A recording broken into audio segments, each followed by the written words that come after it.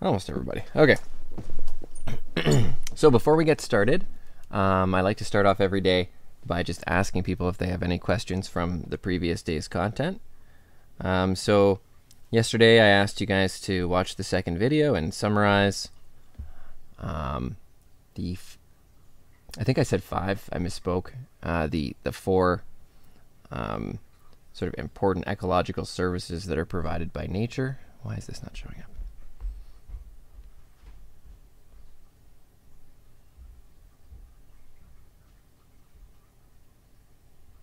There we go.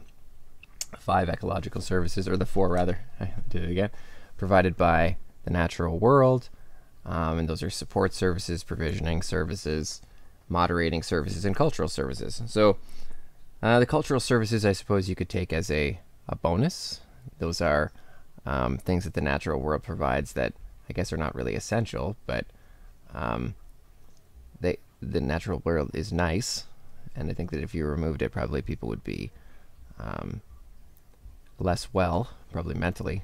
Um, one of the one of the nice things about where I live, at least, I, I, my place backs onto a forest, uh, and so yeah, especially over the last year, it's been nice to be able to occasionally go for a walk back there uh, when we're stuck at home. And that's you know lifted my spirits a little bit. Uh, I know not everybody has access to that, which is can be quite difficult, but um, anyway, those, I guess those are not essential. You can live without that. You could live in a bunker in your basement.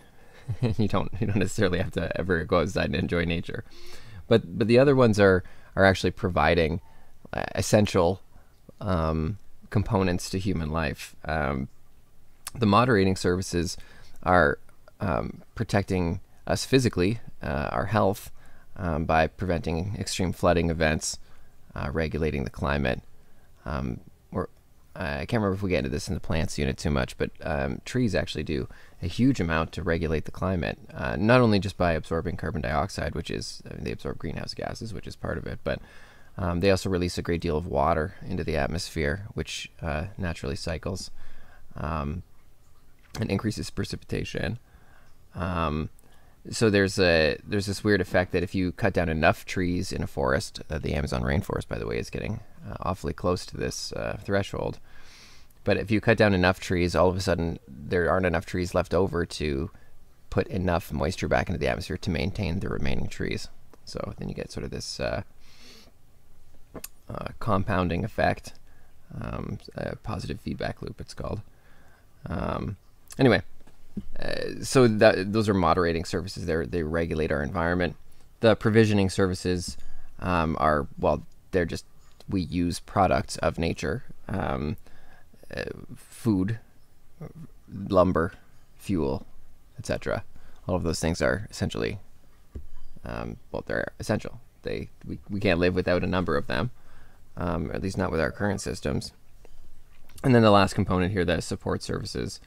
Um, this this is probably the most essential for humans in that they, you know, provide us with things like oxygen and uh, um, nutrient cycling, uh, like nitrogen cycling through the natural world. Um, they form soil, which we use for farming. Uh, the natural world is our water purification system. We, we do some additional water purification, but but the initial water purification is all done naturally.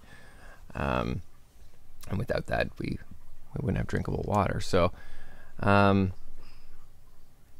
yeah, th- these are pretty important. Um, so anyway, as I mentioned yesterday, even if you don't care, uh, you know, you're not a big fan of bunnies or whatever animals, plants, you name it. Um, they're still doing something that's essential for you to remain alive. So anyway, I'm going to move on here. Um, any other, were there were there any questions from yesterday's content, from the analysis questions, from the questions from the article? Hopefully, the article didn't get you too down. It's a little bit depressing sometimes to see the amount of biodiversity that's being lost on Earth, although it is within our control. That's correct. Yep. Yep, Kim. Um, you're going to hand those in before midterm and before the final. And I that's exactly what I'm looking at them for. I'm looking for how you've completed it. So, are you using full sentences? Are you when we get to the problem solving section, are you writing out the full problem solving when you're problem solving the questions? I mean, th- that's that's the practice that you you need in order to answer the questions effectively. Um, uh, and, and I am looking at it for learning skills. That's right. So they're they're not being assigned a numerical grade. It's not part of your mark per se. But keep in mind that um, when you're working at home, and uh, even when we're doing hybrid learning, I, I can't really watch you work. Uh, so I, I, it's very difficult for me to assess what you're doing when I, you know, I, as soon as I, even right now, but as soon as I turn this, you know, uh, stream off, you you could be doing nothing. I, I, don't know what you're doing. So so I, I, need some way to assess the the the learning skills component. I'm, I'm required to assess them. So so anyway, that that's the tool that I'm going to use. I'm sure other teachers are doing other things, but um, I do I do need something to work from. Okay, so what what we're going to talk about today it doesn't look like there's any additional questions from the homework. So what we're going to talk about today um, is the idea of classification there's a lot of living things. We mentioned in general yesterday. Um, but I, I didn't I didn't pull out specific numbers. So we're going to talk about that today. This idea of yeah, there's a lot of living things. We have to have some way to organize them. If you want to track as an ecologist uh, or as a biologist in general, um, what the status is of Earth's biodiversity or biodiversity in a particular ecosystem, you, you have to be able to measure what the diversity is. Uh, and for that, you need to know how many species are there, how many things are living here. Um, and sure, you can give them a name. You can call this a whatever, spotted owl, and this whatever. Um, but that alone, simply naming everything, is not a great way to keep track of everything. Uh, because it's it's very useful for biologists to, to categorize things, groups based on similarities. For example, um, we, we, would have talked about this in grade nine. We, we group things by uh, the idea of what they eat. Um, so you would have uh, grouped things as a herbivore, carnivore, omnivore, etc. I mean, you probably talked about that grade seven and eight too. So uh, that that's one way in which you can classify things by by their uh, by their food. Um, what we do more generally in classification um, is we categorize things by their morphological characteristics. That's the most common way. And more recently, uh, we classify them by their genetic characteristics, so but what's actually in their DNA. So um, that system of classifying things, it is a system that was developed um, in the 1700s. Carl Linnaeus. We'll, we'll, well, I'm going to get to that in a second, but um, we still use that system more or less with some significant modifications. So that science of making a classification system is it is its own science. is called taxonomy. Uh, and then, as I mentioned here, there's a lot of species. So how many are there? Uh, we don't have an exact number. Around nine million, um, give or take. They this we, we obviously haven't discovered them all yet. So part of this is an estimate, and it's it's based on every time we look, how many new species we find. So um, essentially, it's diminishing. So the more we look, um, we, we we always find new ones. There's always new ones to find. Um, I feel like did I write down how many we've actually classified here so far? I think we've classified three or four million at this point. But there's qu- there's quite an amount that we haven't discovered yet, or at least haven't named. Um, anyway, we're seeing fewer and fewer every time we look, uh, and then so you can make a prediction based on how often you look and how, how many less you're seeing each time you look, and then you can get a general sense for how many are remaining to be identified based on that. And so that, that's what that number is based on. It's, ba- it's based on a very large data set, but um, around 9 million. So, yeah, that's a lot of things to classify. Uh, and so, this system of taxonomy developed in the 1700s by Carl Linnaeus um, is a system for grouping things based on mostly on their morphology. And we talked about this idea of morphology yesterday, the morphological species concept. Morphology is the physical characteristics of an organism, what like what they look like and what their structures they have, and their behavior. So typically, um, the taxonomy that's based on morphology is mostly based on physical characteristics. Uh, however, once, especially when you get down to the genus level or the species level, when we're right at the very bottom of like the, the finest degree of classification, uh, then we occasionally use things like behavior. So there may be two species that are morphologically very similar, but they have different mating behavior or they have different um, uh, times of year where they're fertile or whatever. Something like that. Is that something that you would consider to be behavioral? Um, and because of that, you would categorize um, them as different species because they, aren't going to interbreed. Um, but they are their physical characteristics are relatively similar or, or maybe the same. So um, so morphology is does consist of both though. So it is physical characteristics and behavior. So when we group them together based on their characteristics, we call that grouping uh, genera. Oh, probably shouldn't cover it up. Okay, or uh, genera are groupings, or a singular a single grouping uh, is called a genus. Okay, uh, genus is also the finest level before species. Uh, it's the lowest level grouping is also called the genus of the species. Okay, so I'll give you an example. Uh, the Mus genus, M-U-S, uh, is comprised of rodents that have a pointed snout, small rounded ears, a body length scaly tail, and a high breeding rate. Okay, so that's the genus for Mus, Mus genus. And um, so that's the categorization right before species. Uh, so of all the organisms that are Mus, M-U-S, um, in that genus, there will be more than one species within that genus, but they all have those similar characteristics. So there are levels of these uh, called ranks. Okay, they're taxonomic ranks. And um, oh, I don't want to skip over this part here. So anyway, before I get to the ranks component here, um, when you are writing the scientific name, this is, by the way, that, that, that idea of the, the two name scientific name, which I'm sure you've seen before, uh, Homo sapiens, um, Canis familiaris, that's, that's the uh, dog, the domesticated dog. Um, whatever, that, that two name name, it's called binomial nomenclature. Binomial meaning bi meaning two, binomial, two name nomenclature means name, so two name name. um, is that that's that's how we give a species a specific name. When you do that, the first name in the binomial nomenclature, so going back to the mouse, um, Mus is the genus. Okay, so that's the level right before the species. So the first part is the genus, Mus. You always capitalize it.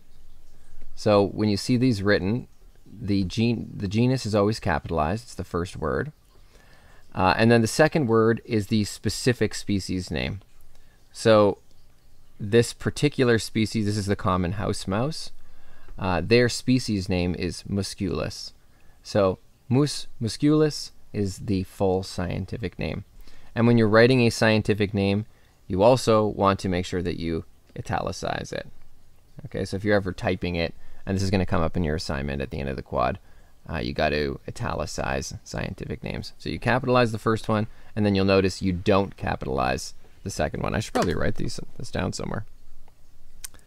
Uh, where's, it, where's a spot I can tuck this in? Oh, I'm going to put it right up here in the corner. I'm to write it real small.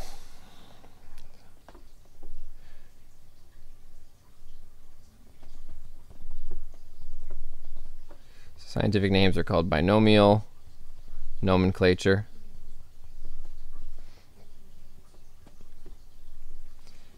Italicize.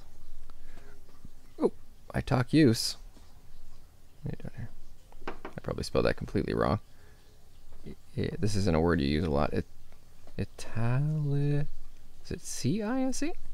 That looks wrong.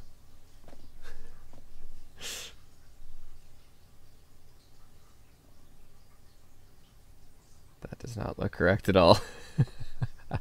How do you spell italicize? Is it S S I S I S E? No, that, that can't be right. Like this?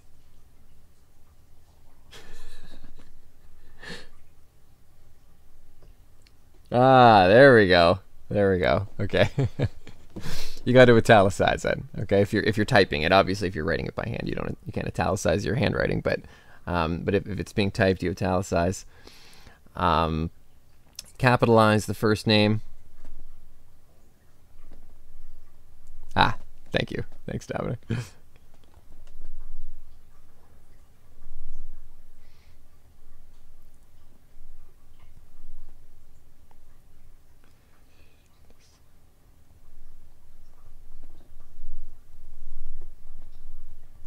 The second name is called the species name or the species epithet, sometimes it's called. Okay, so some basic rules. And so if what that looks like in the end, if I was going to write Homo sapiens, I would write, use my italics here.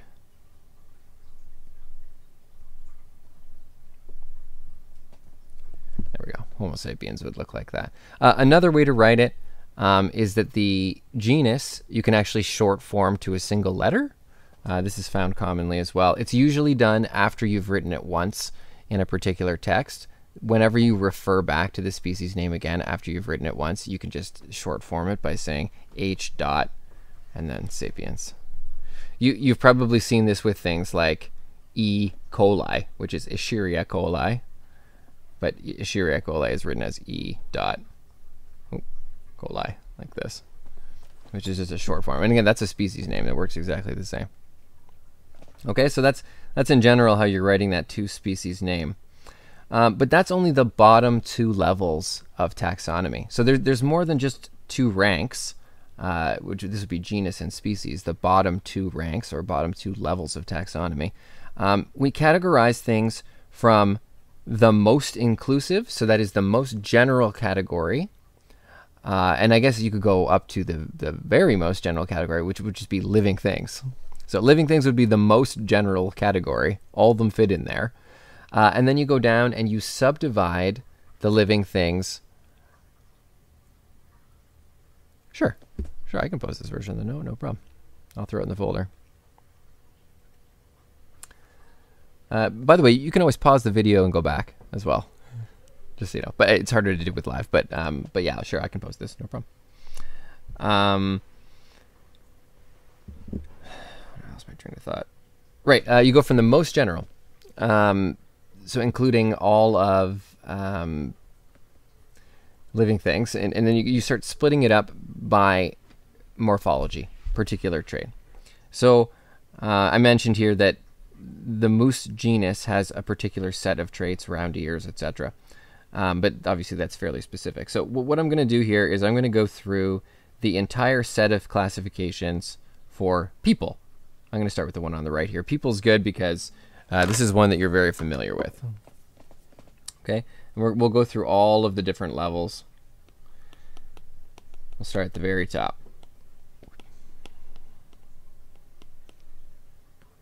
Actually, I wanted to keep that last part. We'll keep that. Okay, so if we look at all the living things, the first way that we subdivide living things is by what's called domain. Domain is the highest level of separation. And there are three domains. We're, we're actually going to get into what the domains are and stuff a little bit later, so I'm not going to go into too much detail here. But you, one of the domains is eukaryotes. Okay, it's also called eukarya. And this is something that may have come up when you were in grade 10 science. The other the other side of this are the prokaryotes. Anybody remember what a eukaryote is? What makes something eukaryotic or is a eukaryote?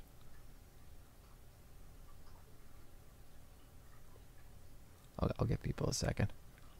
Just I'm just curious if people remember this because uh, this this is kind this is in the grade ten curriculum kind of. Um, when you're talking about cells, right right at the very beginning. You, would have only looked at eukaryotic cells in grade ten. They have all the classic cell parts. mitochondria, Golgi apparatus.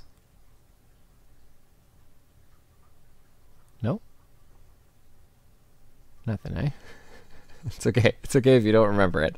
Um, so eukarya is the, a grouping that has membrane-bound organelles. They have a cell mem, uh, not a cell membrane. They all have cell membrane, but um, they've got um, membranes around their organelles, or they have basically visible organelles other than um, ribosomes.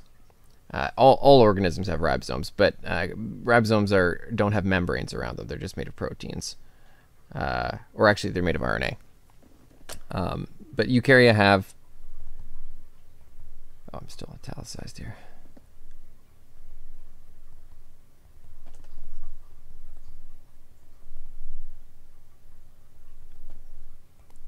Okay, so that that's the highest grouping, and not all cells have membrane-bound organelles. Bacteria don't; they're they're prokaryotes.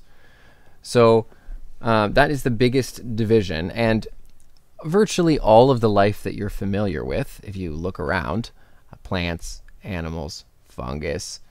Um, th- those I mean, those are the macro ones, the ones that you see, and I guess protists to some extent you can also see with the naked eye. Those are all eukarya. They all have Golgi apparatus, mitochondria, etc. So that's the first, the highest um, rank that humans fit under. We are also eukaryotes. We have that. Uh, then we can subdivide us further into kingdoms. So kingdom is the next level down. Uh, and we're going to go through all of the kingdoms in this course and talk about the main um, traits that you would find in each kingdom. But you are probably aware that we're part of the animal kingdom. We are animals. And what makes something an animal? Well, there's a few traits. Uh, some of the key ones is that we're able to be to move on our own, so we're motile.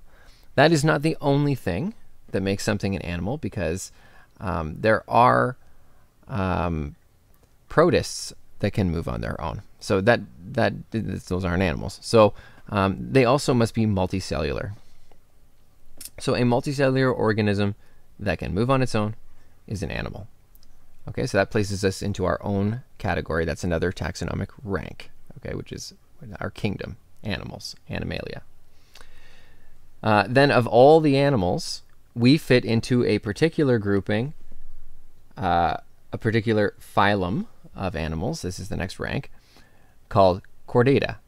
Okay, we are chordates. We are animals with a backbone. That's not actually what chordata means. Ah, I, I didn't. Uh, I didn't make this table. This is actually taken out of your textbook, but this is this is an error an error.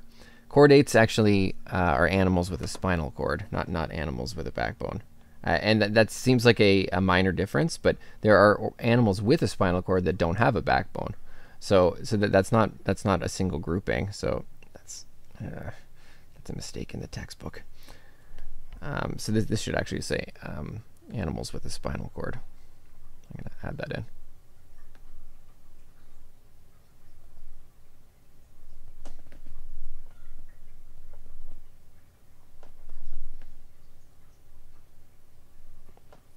Whoops. Okay, so of all the animals, we have spinal cords. Not all of them do, obviously. Insects don't, and the other phylums don't have them. Um, then, of all of the chordates, we belong to a specific class of chordates called mammals. Uh, and those are chordates with fur and hair and milk glands. Of all of those mammals, we belong to a specific order of mammals called primates. Primates are animals, are mammals rather, with grasping fingers. So if you're a mammal and you can grasp things, you're a primate. So if you look at all the other things that you know are mammals, like cows and uh, what else has mammary glands? I mean, lots of things. Um, whales, uh, dogs, cats, whatever. Anything that feeds milk to their offspring. Um, none of those things have grasping fingers, grasping hands, uh, except for primates. So that that encompasses actually quite a few organisms. Um, they don't all look like people, but they all do have sort of uh, grasping hands. Of all of the hand graspers, the primates, we belong to a specific family and our family is the hominids. Uh, those are primates with a relatively flat face and three dimensional vision. Um, so that includes a certain group. Uh, we are the only remaining species in our family of hominids. Uh, so all of the other hominids have gone extinct, essentially. And when we, in the evolution unit, we're going to spend a little bit of time talking about what happened to the other hominids. Uh, how do we know they existed, and when were they alive, and when did they overlap with humans, and uh, we'll get to that stuff on, on a different day. But but we are currently the only member of the hominid family, so the other ones have gone extinct. Uh, we don't have direct evidence of that, Trenton, of whether we or not we killed them off. Um, I, we're like I said, we're going to spend a whole day on this, so I don't. I'm not going to dig into it too much, but um, with Neanderthals specifically, we may have outcompeted them. We may have simply merged with them in some spots. Um, because we, especially um, people of European background, have a fairly high percentage of DNA uh, that we share with Neanderthals. So that we, we, may have just joined them, or they may have just joined us. Uh, I think that's the more likely scenario. So, um, anyway, we'll, we'll, we'll spend more time on that on a different day. Of the hominids, uh, we belong to a specific genus of hominid. Uh, our genus is called Homo, and those are hominids with an upright position and a large brain. Again, we are the only remaining homos that are left, but there were others. Uh, and our specific epithet, that's our species name for our group, is sapiens. So that's the last component of this. And those are members of the genus Homo with a high forehead and thin skull bones. We are also, we are the species Homo sapiens.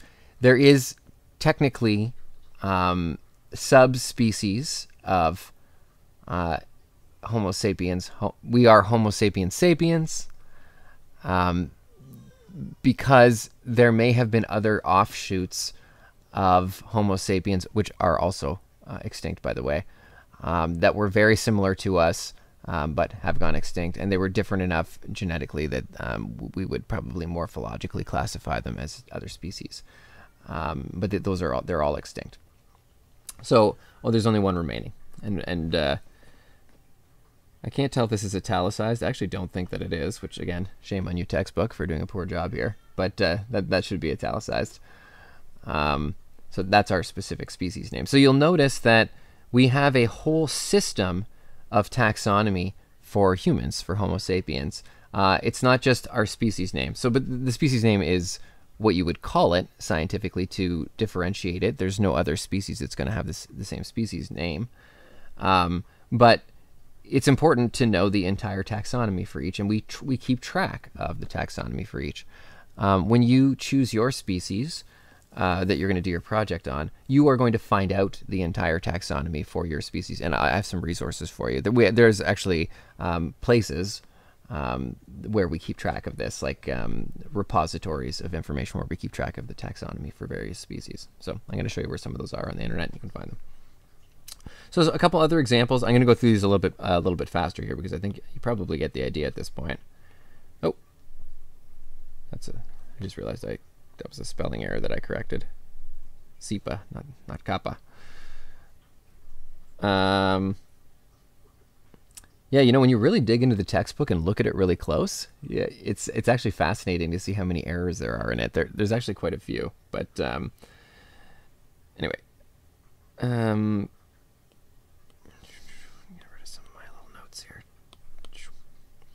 Okay, so I mentioned here uh, this idea that domain is the top level. There are three domains: Eubacteria, Archaea, and Eukarya. Um, this this table actually only has things from domain Eukarya, and then this is looking at four different things and comparing their taxonomy.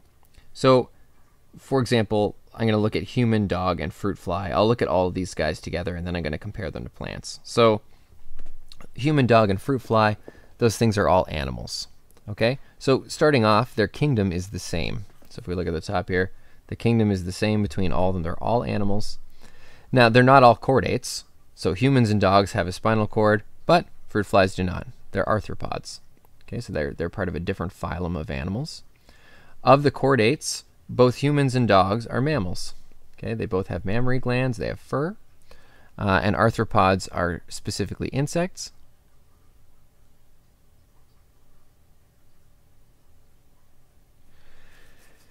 Kim, when you when you say human races, do you mean like our current concept of race? Or do, do you mean like when we, when we talk about like if you see on like a um, uh, on like a census form or something like that where it asks you like about your race? Is is that what you mean by human races?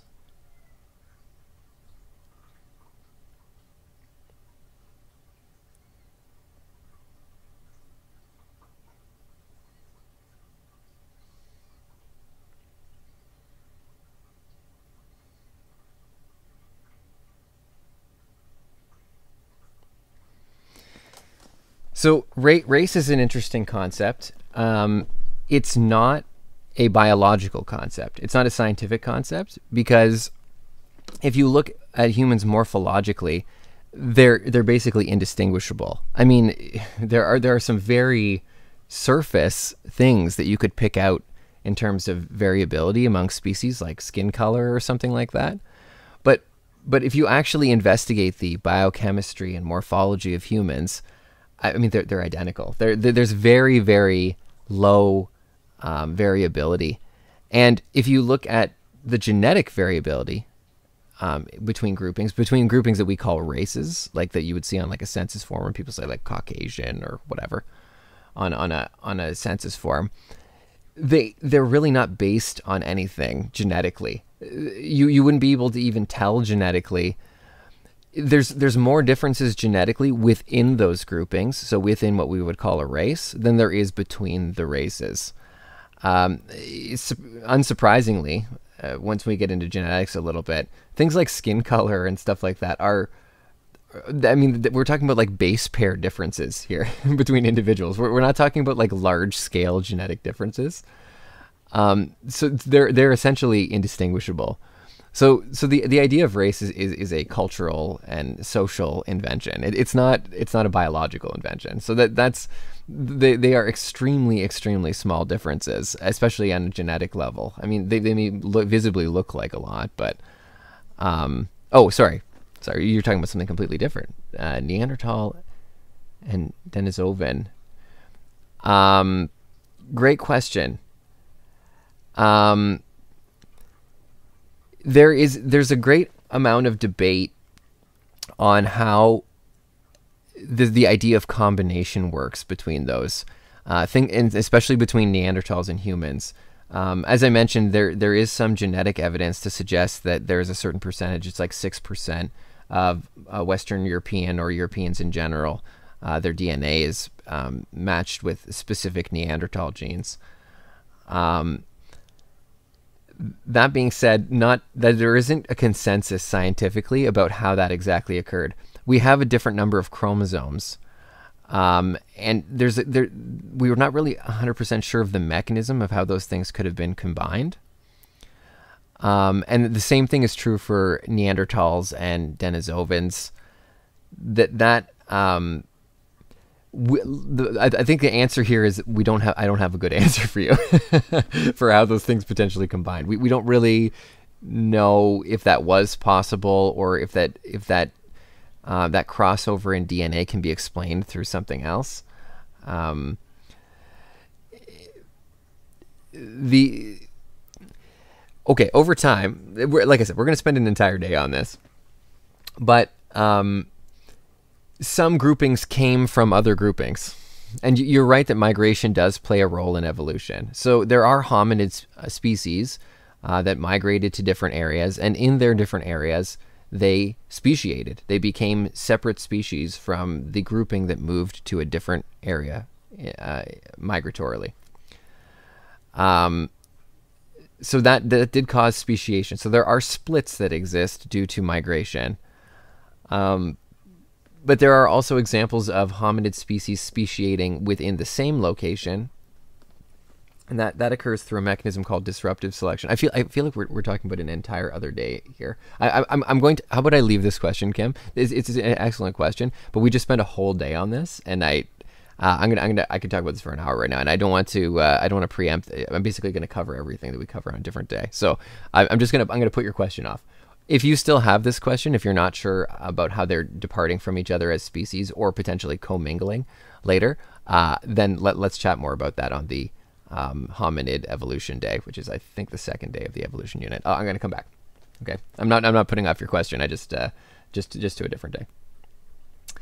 Okay, anyway, you can you can follow all these down and they go into their specific groupings and it's just important to note that as you go down, each of their specific levels of classification here are based on uh, morphology for the most part, okay? More recently, we've noticed that if you only base these divisions on physical characteristics, you actually end up misclassifying things. So you end up putting things close together that are actually very different from one another just because they have similar morphology. And that's due to something um, called convergent evolution. This idea that if your environment favors a particular type of, for example, body shape, uh, that you're going to see a lot of organisms take on that body shape and they're not necessarily related to each other. Uh, for example, if you look at killer whales and gray whales, uh, or killer whales and beluga whales. Those two species look similar to each other, and, and, and simply by looking at their morphology, they're both mammals. Uh, you, you would make the assumption that they have a common ancestor, a relatively recent common ancestor, uh, but that is completely incorrect. So the killer whales are descended from a species very similar to the gray wolf, actually, uh, a larger sort of prehistoric uh, gray wolf type of animal. Um, whereas uh, beluga whales, gray whales, they, they are, they're descended from a completely separate mammal species, a land-based mammal species. Whales are interesting because they were land mammals uh, that became water mammals, but they both departed from the land at different times from different subspecies. Um, so, so we, we, put them together in the same category because they, they look kind of similar and they have similar morph morphology, but it's actually really a mistake because they evolved at completely different times in geological history. They're they're they're not even closely related at all. Um, anyway, so if you go purely by um, morphology here, it doesn't work. So more recently, uh, we've we've really spent a lot of time categorizing things by genetic evidence and looking at genetic difference. I'm going to talk about that a little bit later today. Uh, I think it's today. Hold on, let me double check.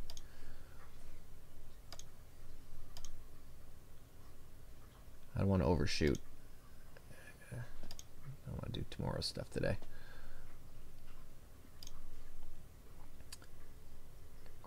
Taxonomy. Go through kingdoms and domains. And then I think tomorrow is phylogeny then. Oh no. Wait, is it? Hit it. Uh, prokaryotes. Yeah, so later today later today we're going to chat about that.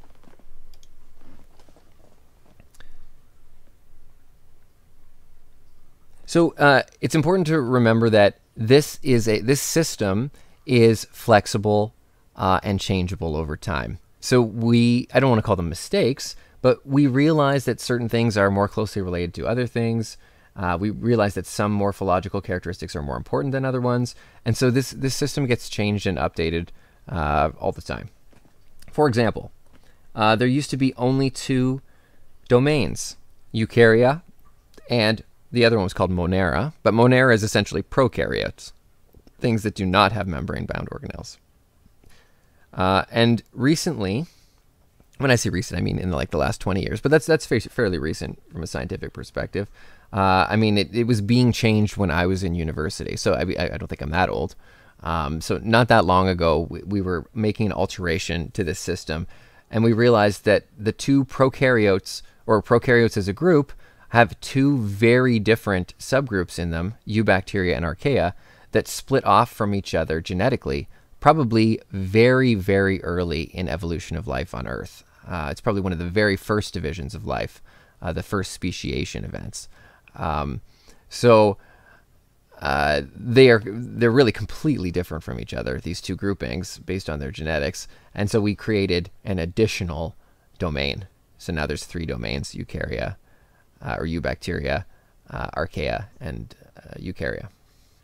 So um, this is a flexible system. That's that's something that's important to keep in mind. We also add additional levels to this system all the time, and you're going to notice this when you look at your species. You'll see something like subphylum. So subphylum is like below phylum, but above class. Or there'll be a superfamily, which is below above family but below order. Okay? Oh, biologists love to do this stuff. So they they'll add in extra levels to to adjust the classification system to make it more accurate. So that's just something to note.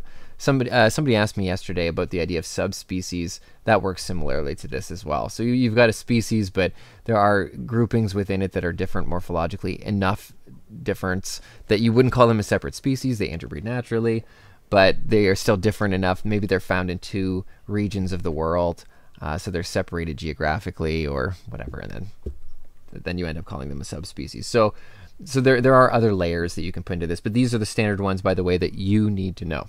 So domain, kingdom, phylum, class, order, family, genus, species.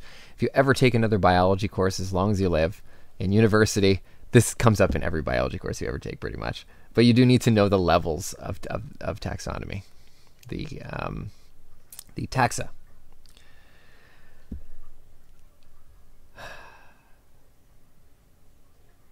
Yes, that's true, Kim. We're, we're, we're going to talk about that more in the evolution unit as well. Um, so that's interesting. Um, I usually touch on that a little bit later when we talk about genetic evidence, um, but I, I, can mention it right now. So, so Kim just mentioned here in the chat um, that we share about 44% of our DNA with bananas. So keep in mind that when we look at our groupings here, we are part of the same domain as bananas, and that is we are both eukaryotes. And when you think about it at a cellular level, a lot of the DNA that you have is just devoted to cellular biology, basic biochemistry, how our cells put together. How does a mitochondria work? Uh, you got to build the certain proteins for the mitochondria. You got to build it at certain times in certain places. You got to build your Golgi. You got to build the uh, you got to build vacuoles. You got to build, you know, you name it. Think about all of the different cellular machinery that is conserved among all eukaryotes. That's a huge amount of your DNA. It's just how do you put a cell together properly to make it function? And yeah, we have a common ancestor with bananas. We do, if you go back far enough. Uh, animal and uh, Animalia and Plantae have a common ancestor. Um, that is a protist, probably, or a pseudo protist. It's like a pre protist. Um, but we do have a common ancestor with them. And, and, and because of that common ancestor, we share a great deal of DNA with them.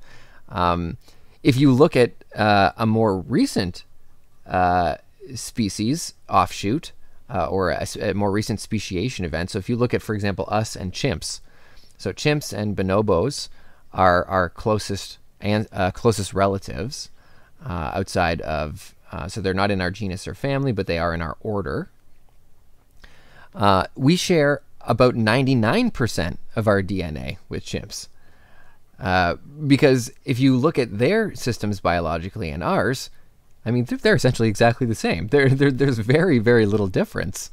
Uh, now, obviously, the devil is in the details. The uh, the important stuff is in the one percent, but or at least the important stuff that we consider important that makes us human. But but yeah, of course, we share a tremendous amount of DNA similarity with other primates. Uh, not with all primates. Um, chimps and bonobos specifically are very closely related to humans. But uh, but the further out you go, um, gorillas I think would be the next category over. over you know, you keep going over. Uh, it, it's progressively less, but but still, I, with all primates, we still share something like 96 or 97 percent of our DNA, a very high percentage. Okay, question. When species consume a great deal of other species, do you mean consume as a food source? What do you mean by consume?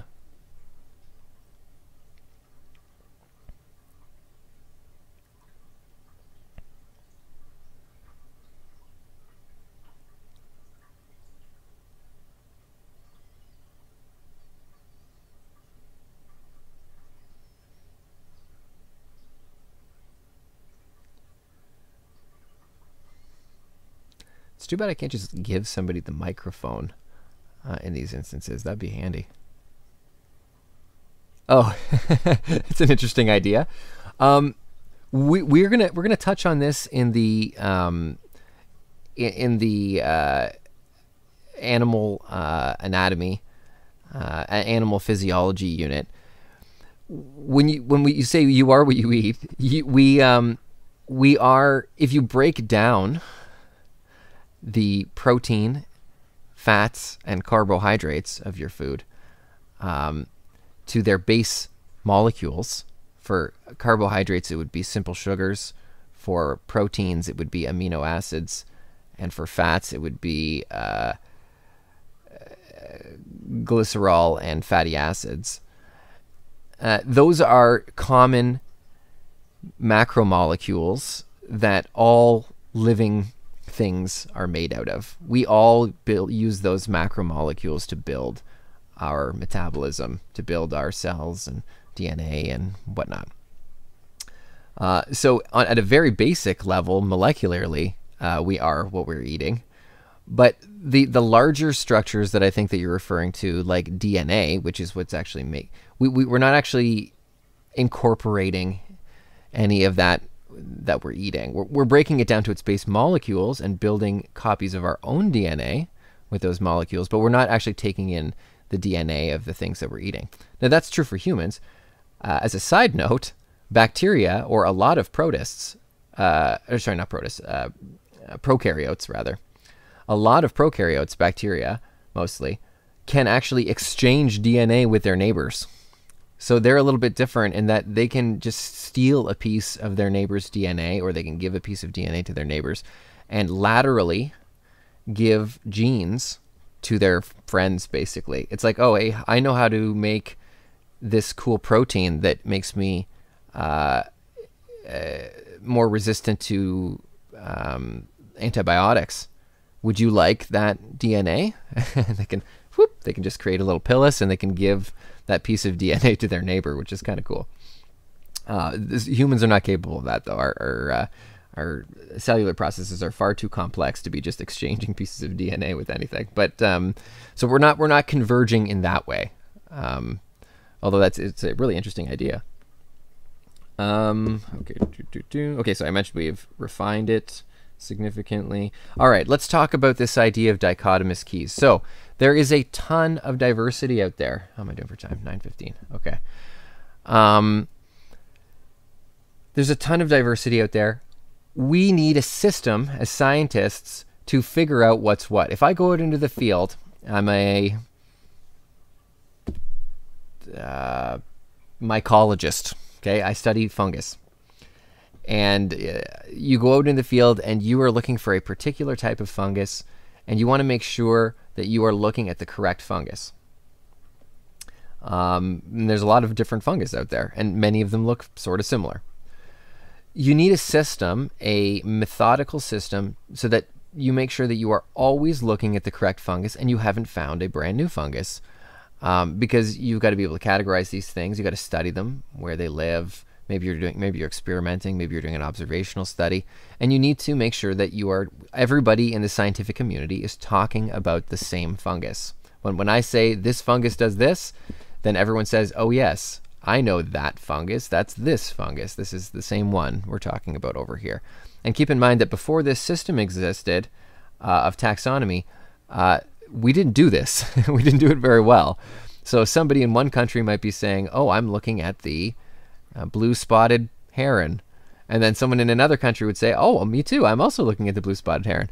But they were looking at different things. they just thought that they were the same thing. So um, th- that was extremely problematic in the early days of uh, um, of this of this study here of taxonomy and uh, um, of studying ecology. So we have gotten a lot better at this. And one of the tools that we use uh, is a decision making tool called a dichotomous key.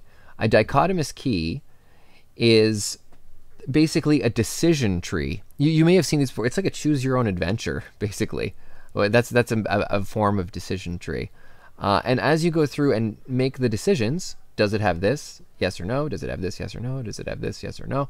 Eventually, you go down through the tree and you say, okay, what I have in front of me is a blank. So, for example, let's say that I was looking at a whole bunch of invertebrates, okay? That is a subsection of eukaryotes and a subsection of animals, okay? We're in the animal kingdom. So, in the invertebrate phyla.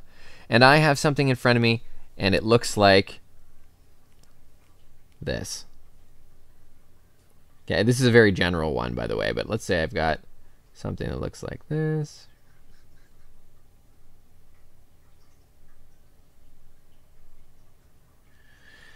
And I'm like, okay, what is this? So first of all, is it asymmetrical? That it is it has no line of symmetry within it, or is it symmetrical? Okay, so I look at my organism here and I go, all right, well, there's a line of symmetry right down the center. So it's not this, okay? I go this way in the decision tree. Okay, that's my first decision. Then I look at the type of symmetry. Is it bilateral, which means that the symmetry is straight down the center? Or is the symmetry have a center point and that there are multiple sections that are symmetrical that come out from a center point? Okay, that's called radial symmetry. So, well, this is bilaterally symmetrical. Okay, so we're going to go this way on the decision tree, and it's not an Cnidarian. Okay, it's not a Porifera, not an Cnidarian. Now I ask another question here. Um, does it have an anus? believe it or not, that is actually important uh, with regards to um, how you categorize it as a invertebrate. Um, and yes, it does. It has a full digestive tract that goes from the beginning to the end. So we're going to go this way in the in the tree, and it's not a platyhelminth, which is a flatworm. Flatworms do not have an anus; they only have an in and no out. Uh, then their waste products just come out the mouth again. So uh, then we can subdivide it here again and say, okay, does it have visible segments or no visible segments? Well, I can see it has three visible segments. We're going to go this way in the decision tree. It's not a mollusk. Mollusks do not have visible segments. Okay, of these visible segmented organisms, does it have an exoskeleton or not? Well, yes, it does. It's a spider. So, yes, it does. It has an exoskeleton. So, it's not an annelid, which is a roundworm, uh, and it's an arthropod. Okay, so that so that is a decision tree. Uh, and this form of decision tree, because it's asking questions about morphology, is called a dichotomous key. And you can do this for anything. You can build a dichotomous key of butterflies. You can buy, build a dichotomous key of mushrooms. You can of North American mushrooms. You can build a dichotomous key of Ontario field flowers. You, whatever you want. And, and, we very regularly do this as biologists. So this is actually an essential skill uh, that's in the curriculum that you need to know how to do for this course. So what we're going to do is we're going to build some together. And do a completely different one here. This I built this last time with my other class. We're going to build our own. I'm going to get you guys to help me out. This was a little bit easier to do uh, in class because I was able to speak to students directly, but I'm going to let you guys choose the characteristics. So keep in mind that when you're doing this as a biologist, what you are trying to do is base these on important morphological characteristics that are um, and you're, you're attempting to break it down from an evolutionary perspective from the earliest evolved characteristics that is the characteristics that the most things have and then subdivide it to the least common characteristics. Um, and, and uh, what you're basically doing there is you're separating the earliest evolved characteristics and, and all the way down to the most recently evolved characteristics. Now, when you guys are creating a dichotomous key, you don't have any of that data to go on. Okay, you're you're just you're just creating a key based on morphology, so it's not exactly the same, uh, but the the basic idea is the same. So when you're doing a key, there's a couple important things that you need to consider. Uh, one of them is that you have to base it in on morphology actual physical characteristics. In our case here, I'm going to say that they have to be physical characteristics. Uh, I'm going to say that for your assignment as well. So you're, you're going to be creating a dichotomous key for your assignment. They, they have to be physical. Keep in mind that morphology does include behavior, but I can't look at a picture of a butterfly and know what its behavior is, know what its mating patterns are, or, or whatever its its call, or or I don't know, butterflies don't have a call, but you know what I mean. Um, so normally you'd include behavior in this as well, but I just it's not possible to do that for our types of keys. So we're, we're just going to ignore behavior for our purposes. But keep in mind that a real dich- dichotomous key may include behavior. So um, we're, we're, we're, they have to be morphological, so physical characteristics in this case. Uh, and they have to be objective. Objective means anyone looking at it is going to say, yep, that is what I see as well.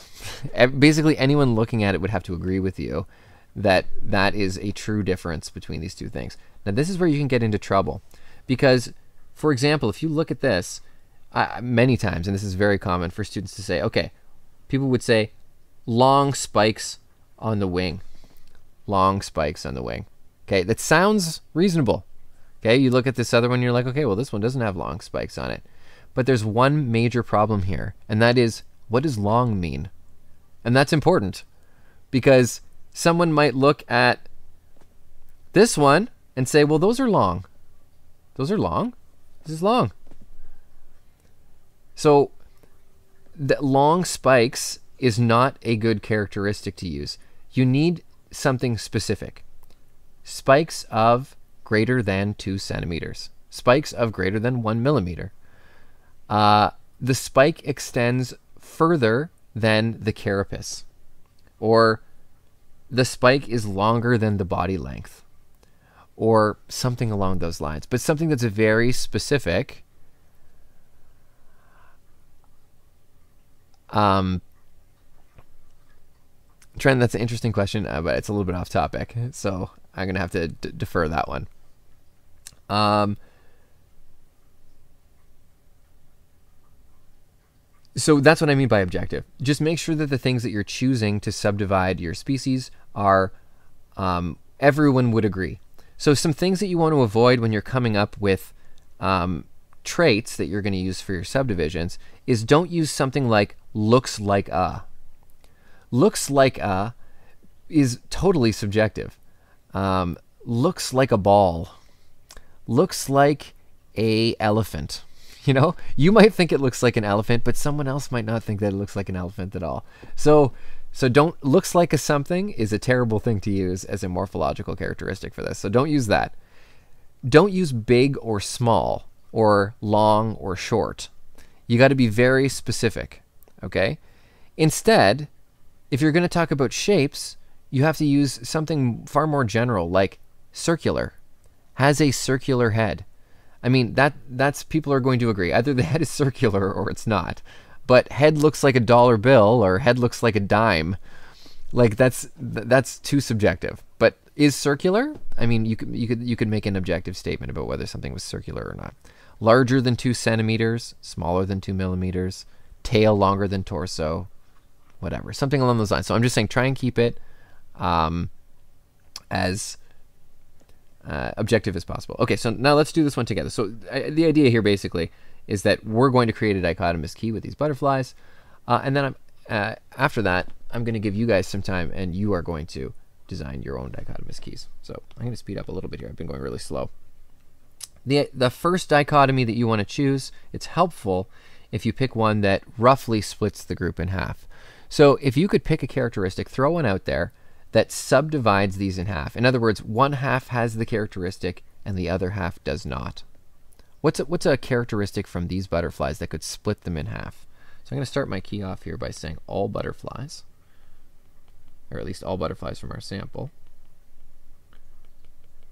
And then we're going to have our first dichotomy, a decision that will split them in half. Okay, antenna. So I'm going to, visible antenna. Now this is uh, technically these these all have antenna, but but the photocopier didn't or the scanner when I scanned this didn't actually pick up the antenna on the other ones, which is perfect. That's fine. So um, so there are ones that have antenna. That's that's a great that's a great answer. Okay, so antenna, antenna, antenna, and then these ones do not have antenna. Okay, so we've effectively split it into B, C, and F, and A, D, and E do not have it.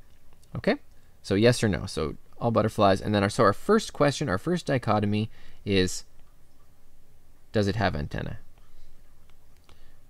A little bit smaller here.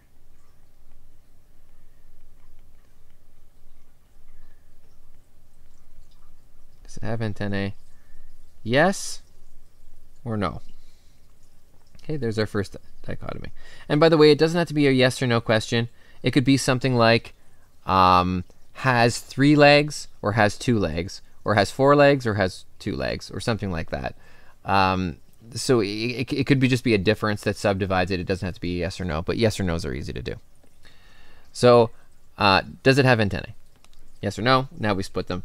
You don't need to include um, what goes on the top and bottom, but I'm going to include them now just to make it easier for us to subdivide them. So B, C, and F have antennae. So I'm just going to write them in here. You don't have to do this. So, but this is B, C, and F do. And then that means that the other ones do not, which is A, D, and E.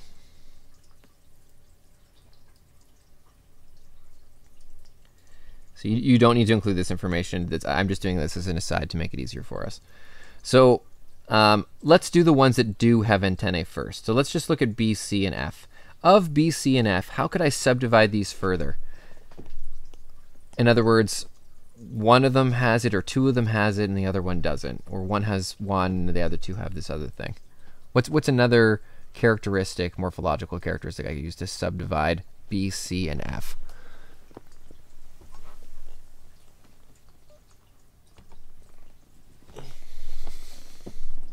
Okay, circular patterns of the wing. Perfect. So we, I would say these are circular here. Oops, these are circular here, and these are circular here. I fully, I think that's objective. That's great. Um, so B, circular patterns on the wing. B, C, and F, right? Yeah.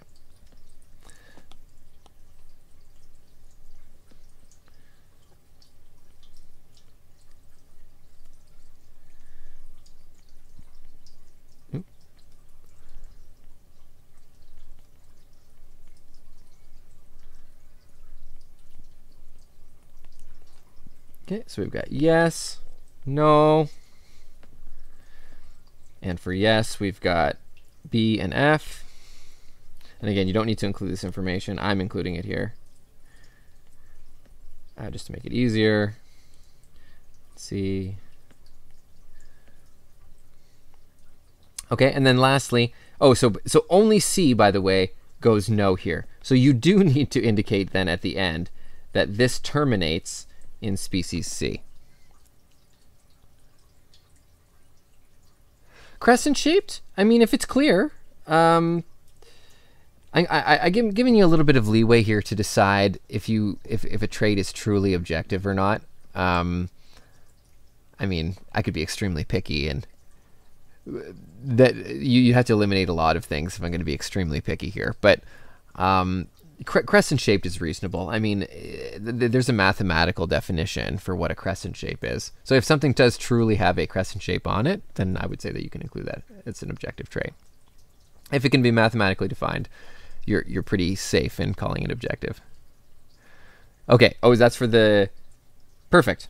That's for subdividing these two. Abdomen longer than wings. Awesome. So we got to do B and F.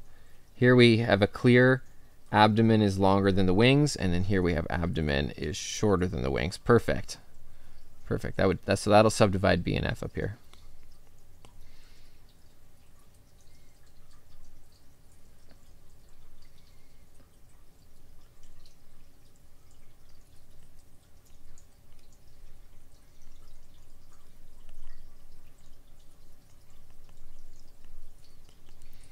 Okay, so we've got yes and no. So abdomen longer than wings, yes, was B. So you do, you do have to indicate the species at the end when it terminates. So this is B. And then no F. Okay. So we've com completed our key on this end. Now we just need to add in our other species. So let's look at A, D, and E. We need to subdivide A, D, and E. How could I separate out A, D, and E?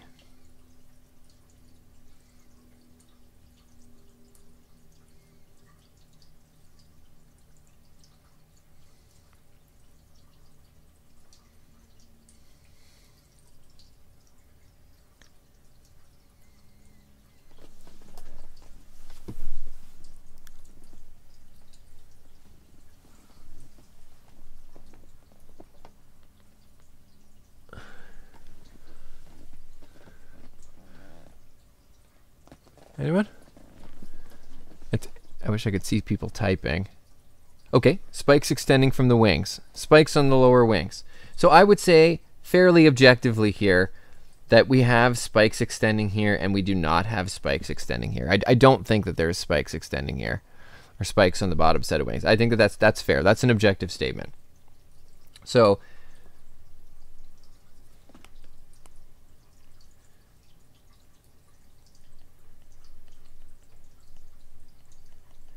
spikes extend from bottom wing. There, there, I'm pretty sure there's a name for the bottom wing in butterflies, but I don't know what the name is, so just going to bottom wing.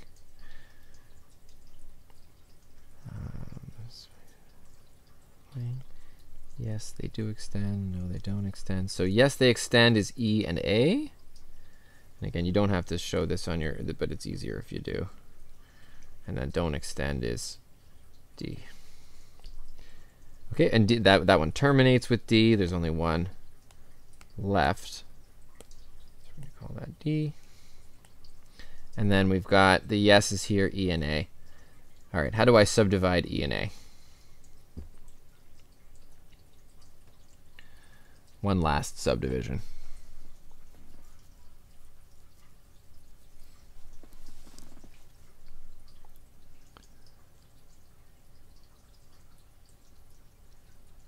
Top of the wings come to a V. Ah, I like it. Okay.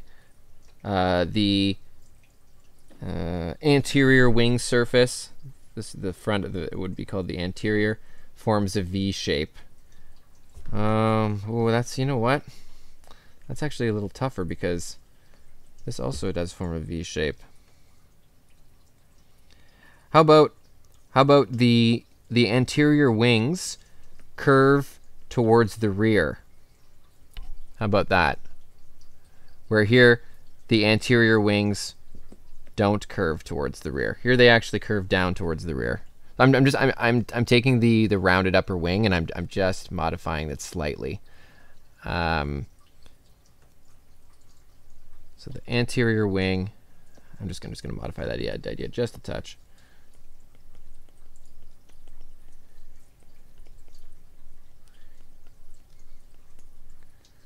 Curves. You could say towards the rear, or you could say posteriorly. Posteriorly is the the correct posteriorly. That is the correct anatomical term for that. Towards the rear is posteriorly, or to the posterior. Okay, so A curves towards the posterior.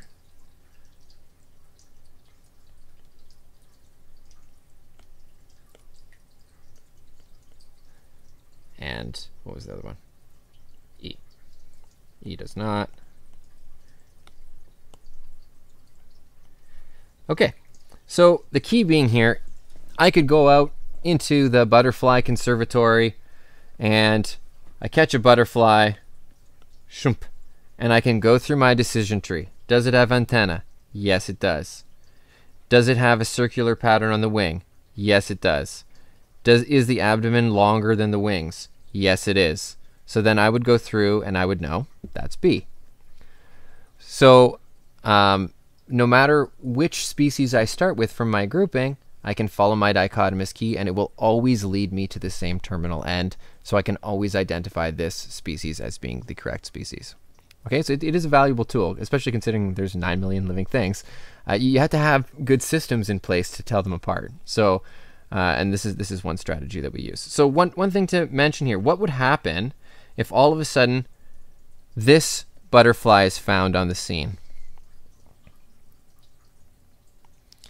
which I mean, this happens in biology all the time. We've got our dichotomous key for North American field butterflies, and this lands. I got to go through. Now I got to go through my dichotomous key, so let's do it. So, uh, does it have antenna? Yes, it does. Does it have a circular pattern on the wing? No, it does not. Okay, so then I, I, I where I end up is here.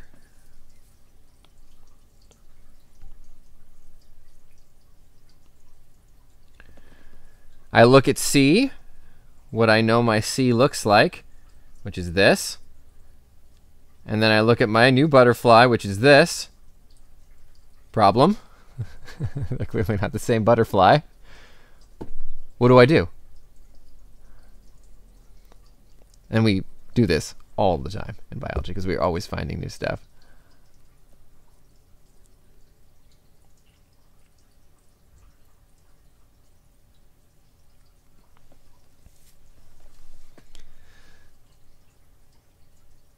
Yeah, exactly. You got to create another dichotomy, right? So now we look at these two and we say, okay, well, what's different between the two ones that end at the same terminal? So, okay, perfect. Front and back wings are separate, visually separate. I like it.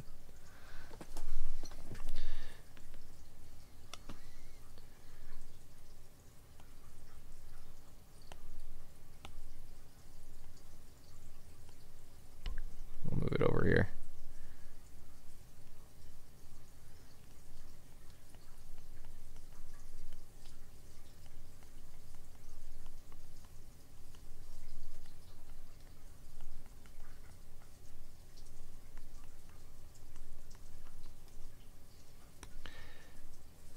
yes and no.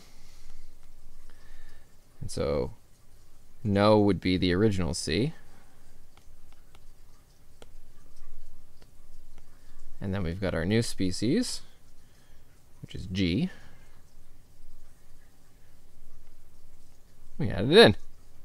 Okay, and that's just what I wrote under here. You, you got to add a new dichotomy at the end point. Okay, antenna longer than the top of the wings. That also works. That's a good one too.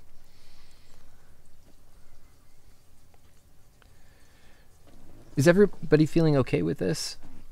Like in general, what we're trying to do here? It's it's the same system. You're you're just splitting it in half and splitting in half, or roughly half. It doesn't have to be exactly half, but splitting it, splitting it, splitting it with decisions until you get down to where there is a single member at the end of each terminal.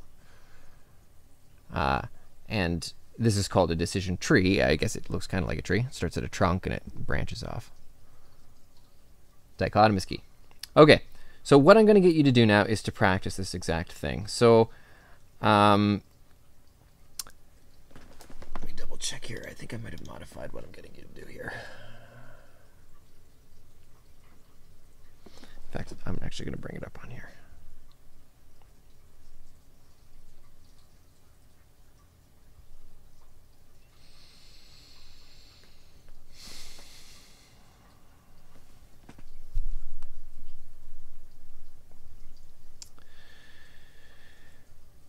Okay, so first, uh, there is a short video for you to watch on taxonomy. Um, I think it's about eight minutes long. Uh, it goes over the history of taxonomical systems. I didn't go into any detail on that whatsoever. It talks a little bit more about Carl Linnaeus and how the system of taxonomy works. Life's filing system. Pretty good video, excellent summary of what we just discussed. Then, you're going to go in your textbook uh, to investigation 1.2.1 on page 32 and 33. Okay? You're going to do part A, part B, number 6, and analysis A to C. You only have to do part A, part B, number 6, and analysis A to C. So it's all of part A, part B, number 6, only part 6, number 6, and then analysis A to C. So I'm going to open this up real quick because I there's always questions about what exactly you're supposed to do on this page. If you want to open it uh, up in your digital textbook as well, we'll look at it together real quick here. Uh, I got to get a full PDF of this on my i uh, on my iPad so that we're able to look at it together because that would make this far easier. But it's page 32 and 33. Um, actually, hold on. I actually think I, I did post it up here. Uh, 32, 33. Here it is. Oh, man, come on. Make me sign into this. Is it going to work?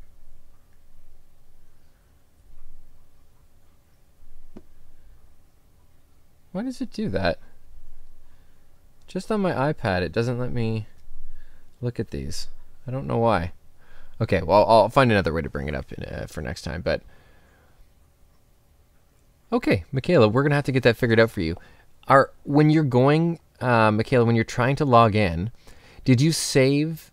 Um, So all of the practice questions that we do, Kim, like this are formative. The summative evaluation is when you're going to be designing one of these keys for me on your summative project that you're going to hand in. So yes, this is practice. Um, the practice quizzes are also formative. They are just for you to check your understanding. I, am going to get to those in a second. I, will I'll discuss them. So try this for people that are saying the textbook isn't working. Go when you log in. Every time you you you log in, you have to go to, I think it's is it Nelson.com, or is it My Nelson? MyNelson.com, but just MyNelson.com. Sometimes the address bar will automatically put in like the rest of an extension into there. You want to just go just to mynelson.com. So if it puts in a, more of an extension on the URL, you just delete that part. You just want mynelson.com, and then you have to log in with your username and password every time. Uh, a lot of people save a link, uh, like a shortcut, to the textbook itself, but it doesn't work if you do that because it does because you you skipped over the login process and it won't let you skip in over the login every time you go back to it. So you have to start at mynelson.com, log into your account, and then open the textbook. Are you guys already doing that?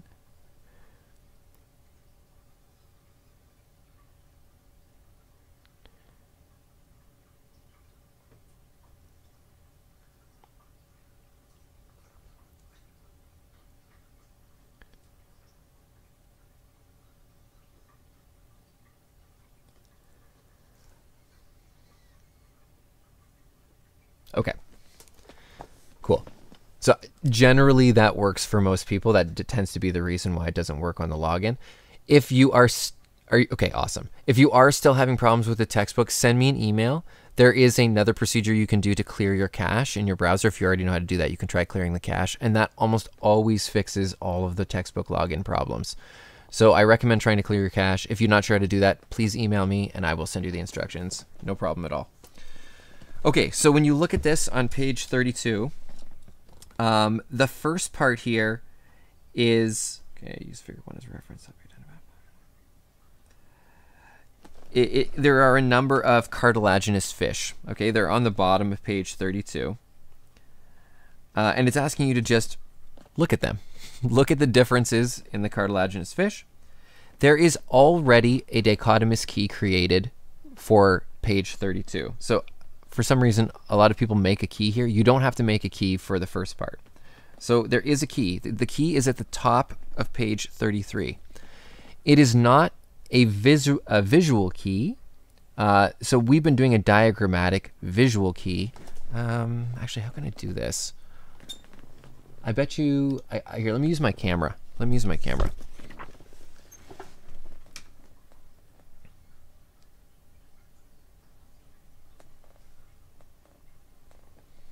There we go. I'll do it like this. So there is a this this is called a um, this is this is still a dichotomous key, but it's called a descriptive key or a oh, what's the other name for it? Um,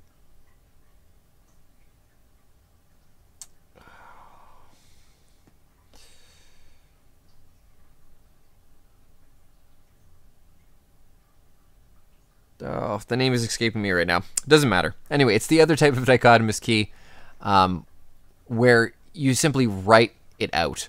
It, it, this is very similar to a choose your own adventure. If you want, you can do your dichotomous keys like this. So it, it for number I there, the first choice, it's saying, is it a body with flat dorsal and ventral surfaces, or is it a body with noticeably flattened surfaces? For the first choice, you go to option two. For the second choice, you go to option four. So you, you can do the key like this. Facultative. It's a facultative key. You don't. Uh, I personally find these more difficult to make. That, that I mean, that's just me. Maybe you'd prefer to do it this way, um, but I I find them easier to do as visual keys. So, uh, when you're making your own keys, you can do the key this way, but I, I personally recommend doing them as a visual key. It's totally up to you. Uh, but this is just another form of key. It works exactly the same way. Okay, but this is sort of like a choose your own adventure style. If you've ever read those books as a kid, I used to read them in elementary school all the time when I was a little kid. Anyway, um, so it already has a key, and what it's asking you to do over here is basically just go through and identify various things using the key. Okay, so it's pretty straightforward. It's just asking you to use a dichotomous key to find certain things. Okay, pretty straightforward. The second part here, and this is the part where I'm asking you to do only number six. So number five, it says to create a creative binomial nomenclature name for each of these. I mean, you can do that if you want. You, you know how binomial nomenclature works, uh, where it's genus species, they do not have to be accurate at all. Um, so if you want to create a binomial nomenclature name, uh, you can practice using italics, capitalize the genus, don't capitalize the species epithet. Uh, you can do that. You can do that if you want, but you don't have to. Um, I mean, there's there's no time in which I'm going to ask you to name a new species, so I'm not really sure if that's like a vital skill you need to practice. But um, maybe just to practice writing what a species name looks like in terms of the formatting. Uh, but you can just call this figure eight, figure nine, or species eight, species nine. Honestly, like that's totally fine. But you are going to create a dichotomous key for these guys. Okay, so they are, um, uh, I believe they're all insects. They they are all arthropods anyway uh, and you're going to create a dichotomous key. So that's number six. And then you're going to answer some questions about your dichotomous key right here. Um, I believe, just make sure that I get the right thing here. A to C. So A to C is what you're going to answer from here, just the first three. The other ones are asking questions that I don't really think you need to do. So don't worry about that. You only need to do A to C. Uh, and then you're going to do analysis questions on page 20. Back a little bit here. It's these right here. And you're going to do number five and number seven. Okay, only number five and seven are necessary. It does require you to do a little bit of research. Okay, so it says research the following taxa for number seven. Yeah, you're going to need to use the internet to do that. Okay, so I'm going to give you some time to do that now. Um, you probably are not going to get all of this done by 1020. You might, you might. Um, but if you don't, uh, this is this is the stuff that you would finish off during learning block three. You actually will probably likely have time during learning block two after you're done the learning block two stuff. Um, that's correct. This goes on the homework doc. So when, whenever you're given questions like this to complete, um, whenever you're given questions like this to complete as part of like the day's tasks, unless it's on a worksheet that I give to you, and some of the lab activities and stuff will be on a worksheet, in which case you don't include that in your homework doc. But if it is just questions that are included on here, then you do include that. That that goes in your homework doc. Yes, you did, Trenton. So uh, you're welcome, Trenton, to look over the video from yesterday's lesson. It is still posted under day one. So if you look back here under day one, uh, there's a video at the top. Uh, it would be the video of our lesson from yesterday. The live stream is there. Um, but if you just go through uh, the questions below, it, it, it will explain to you step by step through day one what you need to complete. And th there's actually the homework questions from yesterday. It's analysis questions on page 13, number 1, 6, and 8. And if you haven't completed the uh, if you have not yet completed the student parent information survey, please do that. I definitely need to get that from everybody. Um, I'm trying to compile, especially parent contact information. So uh, if you could complete that as soon as possible, that would be awesome. If we're doing homework on paper, can we just put pictures? Yes, that's exactly what you do. So if you are doing homework on paper, which is totally fine, take a picture of the paper when you're done and you want to insert it into a Google Doc then that that's your homework Google Doc. It's the same document, but it'll just have pictures in it instead of your text that you've been writing, and that's totally fine. Many students did that last quad. Um, the so the key is oh, that's good, Trenton, by the way.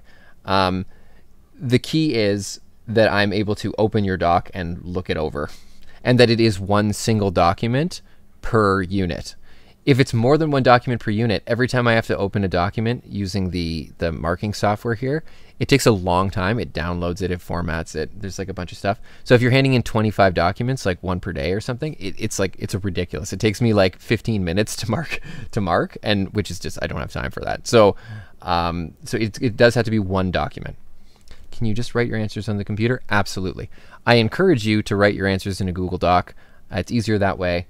Uh, but you don't have to. Some people prefer to use pen and paper, and you're welcome to do that as well, as long as you take a picture of it and insert it um, into your Google Doc, your homework Google Doc. That being said, um, for the genetics unit, there's some problem solving that you're going to do. You probably want to do that on paper. It's easier, in my opinion, to do it on paper. However, you don't have to. So if you want to find a way to do it on a Google Doc, you're welcome to do that. Okay.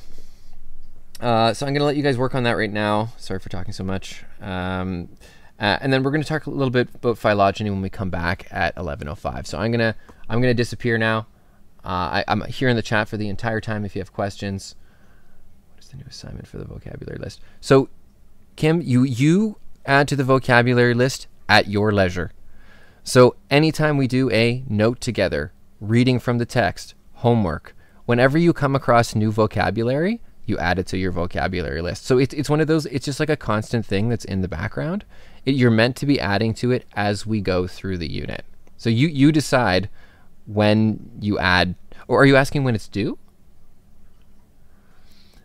The, the vocabulary list runs for the entire unit. You hand it in at the end of each unit, and at the beginning of the next unit, you create a new vocabulary list for that unit. So there's one per unit. Okay, I'm gonna, like I said, I'm gonna let you guys work. Uh, any questions, let me know, and uh, I will see you guys at 11:05.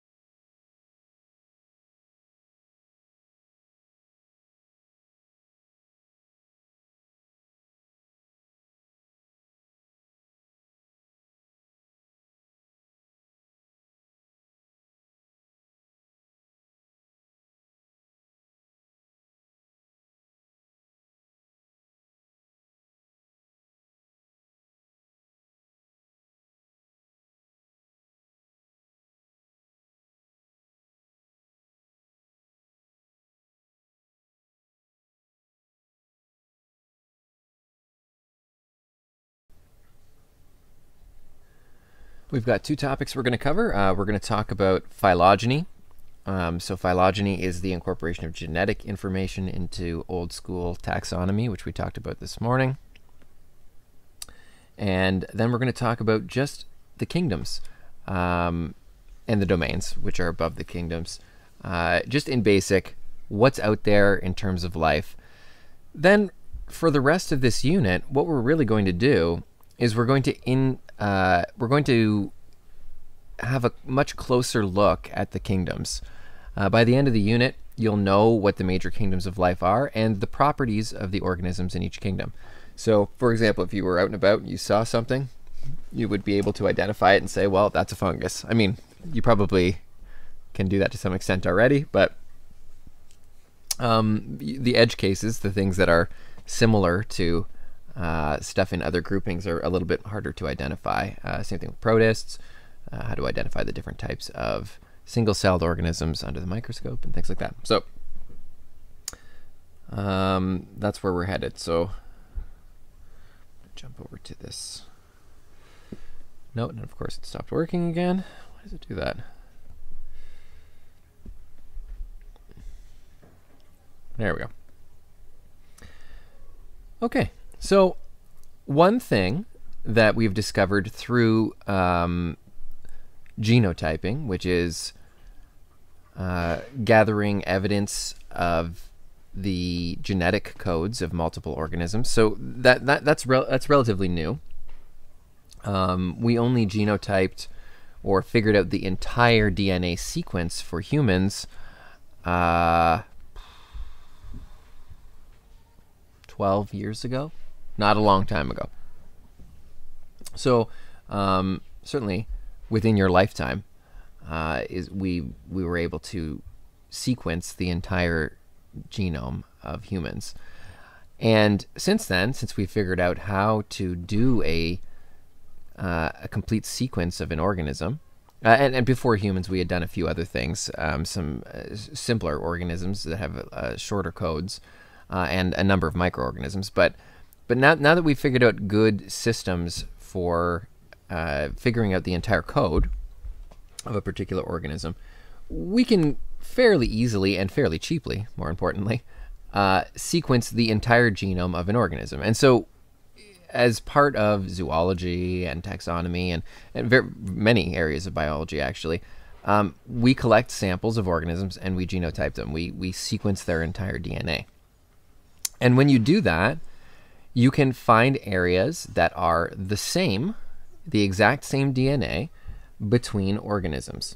So er- areas that are the same, and when I say exactly the same, I don't mean letter for letter code exactly the same. I mean the sections are the same length, they make the same proteins. There are still versions of those proteins that are a little bit different between individuals, but they do the same thing. Essentially, they are the same genes. For example, you might have a gene for eye color, and we have two of them actually, um, and and one of them is says brown eyes, and one of them says blue eyes. Uh, so those are not identical to each other, but they are largely the same. They are still an eye color gene, uh, and so we, we say that those D, that DNA, those two pieces of DNA, are homologs or homologous to each other. Okay, so this is an important concept, this idea of homologs. It's the same gene, but it may be not exactly the same, like word for word, but or character for character in the code, but it is a homolog. So they do they do the same thing. So we can look at homologs, and and this I, I mentioned this earlier. This this came up with a question here. This idea of like what, how much of our DNA is homologous with a banana, and, and I think that the, what was posted was 40%. That's probably accurate. It's probably something like that. Uh, and so we, we would call those sections that are the same homologous. They are the same genes that do the same things. They may not be exactly identical letter for letter, but they do the same things. We can do that. We can genotype, uh, sequence the genome for a, a, huge number of species now. There's a, a uh, technique called shotgun sequencing, which is just a uh, a way of using a computer basically to greatly increase the speed that you can sequence a genome. So we do that uh, often, and we can compare the genomes of many different species. Oh, there's a question here. Would people who have two different colored eyes have two dominant eye color genes? Or one of them still be recessive? Now, that's an excellent question. Heterochromia. When you have two different colored eyes, I have no idea what the genetic mechanism is for that. And I don't think that the mechanism is always genetic. Sometimes there's a physiological, environmental mechanism um, involved for for that. I think chimerism is part of the part of the explanation. This I have to check out. Chimerism is when you have areas within your body that actually have different DNA. Um, and you you may have seen this before. This is we're departing a little bit from what we're talking about here, but that's okay. Um, you may have seen like a cat that has like a very um, you know what? Why don't I just show you? This is this is much easier. To, I can just pull up a picture of this. Oopsie daisy. That's not what I want.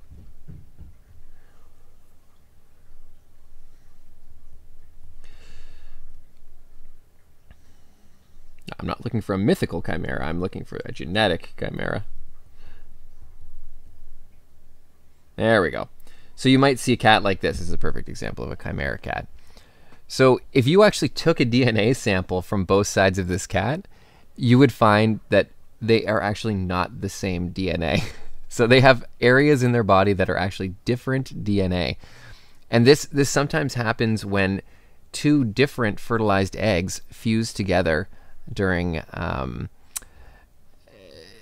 during the the growth process. So this is in, in the womb and this and, this, and and I shouldn't say it's not exclusive to wombs. Like this can happen in or in many different types of organisms where you have this fusion of two fertilized eggs, um, and then so, so you actually end up with two genetically different organisms that are becoming one organism. This is fairly common in the animal world. I don't think this is very common in humans. It definitely happens in humans, but this is, I don't think this is the primary mechanism for heterochromia in humans. In in and it is an excellent question. I mean, they have a picture of a human here, but I don't. I don't think that is actually. It, it's similar to twin absorption.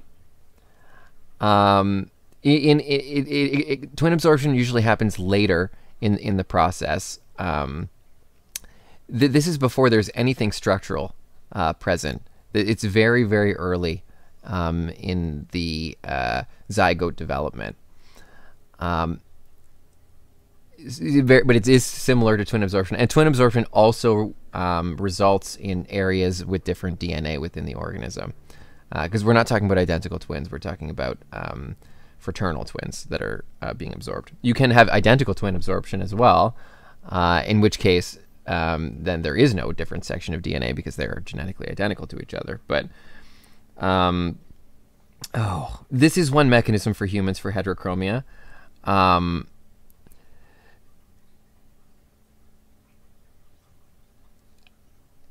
here, here's a great uh, visual of it here, which is essentially that there are areas within the body uh, that contain the fertilized egg from one embryo and the fertilized egg from another. Um, I don't know what the other mechanism is. There's an environmental mechanism that causes um, heterochromia in humans, and so I, I, I, have to I'd have to investigate this more. I'm sorry, I'm sorry, Mikhail. I don't have a full answer to your question. Uh, chimeraism is is part of the explanation. Great, I'll check you off, Derek. Uh, oh, hopefully, hopefully that answered your question. That, that's as far as I know. Uh, th- there is an environmental uh, pathway as well for that. Um, where was I here? Oh yeah, homologs. Okay, so uh, if you take the DNA of a bunch of different species and you compare which areas are the same, basically, which are homologous to each other, you start to build up a map of relatedness because the more you share in DNA with another organism, the more closely related you are to it. And that's actually true even within humans. Uh, the more DNA you share with another human, the closer you relate to that human as a human. Uh, you have more DNA in common with your parents than you do with any other human. I mean, unless you have an identical twin. Um, and that and that's because you are a combination of your parents' genetics. And so, if we and so that, then we'd be getting into even specific code, not just homologs, but even specific gene, uh, alleles, specific versions of specific genes. But for example, if you were to look at um, human, the human DNA code, okay, and so I'm going to call this 100%. This is human. Okay, you are, if you compared your code to any other human, you are 100% homologous to every other human. That's the percentage, that's the same. Okay? Uh, there are differences, like I said, within the code, uh, small differences, but they're all still homologs. In other words, you are genetically compatible to mate with every other human. Uh, then, if you look at, for example, chimpanzees, if you look at their amount of homolog, it would be something like oof, I don't know. I'd have to look up the number. It's like 98% or 99%. It's very high. Okay, so the percentage that's the same is very high. Uh, if you were to look at other primates, the the amount that's the same with other primates, and again, I, I, I don't have exact values for you. I can look them up, but I'm not going to. It just takes too long. But I mean, we're we're we're somewhere in the high 90s. So let's let's say it's like 96% or something like that. The same between all primates. And then if you were to even look between you and all mammals, so you and your dog or you and your cat or whatever, um, we're still talking about an extremely high percentage that's similar. If you look at the body systems and biochemistry, I mean, it, it, it's very, very similar. I mean, it might be it might be 95% or 94%. This is just like other mammals. But you and so so these are the most closely related groups to you simply based on homologs. We can we can figure this out. And but you can keep going. You can as somebody mentioned earlier, you can you can throw out the banana and say, "Okay, well, what about a banana?" Well, banana might be 40% homo- homologous here. And then you can go back and look at a bacteria. Okay? But bacteria even have a significant amount of uh, homology. So you, you might go to bacteria and you find it's like 20% homologous. It would, it would be species dependent, of course, but um, and so you can do this comparison and go along and look at level of relatedness to various organisms. And from that, you can actually build a tree of relatedness.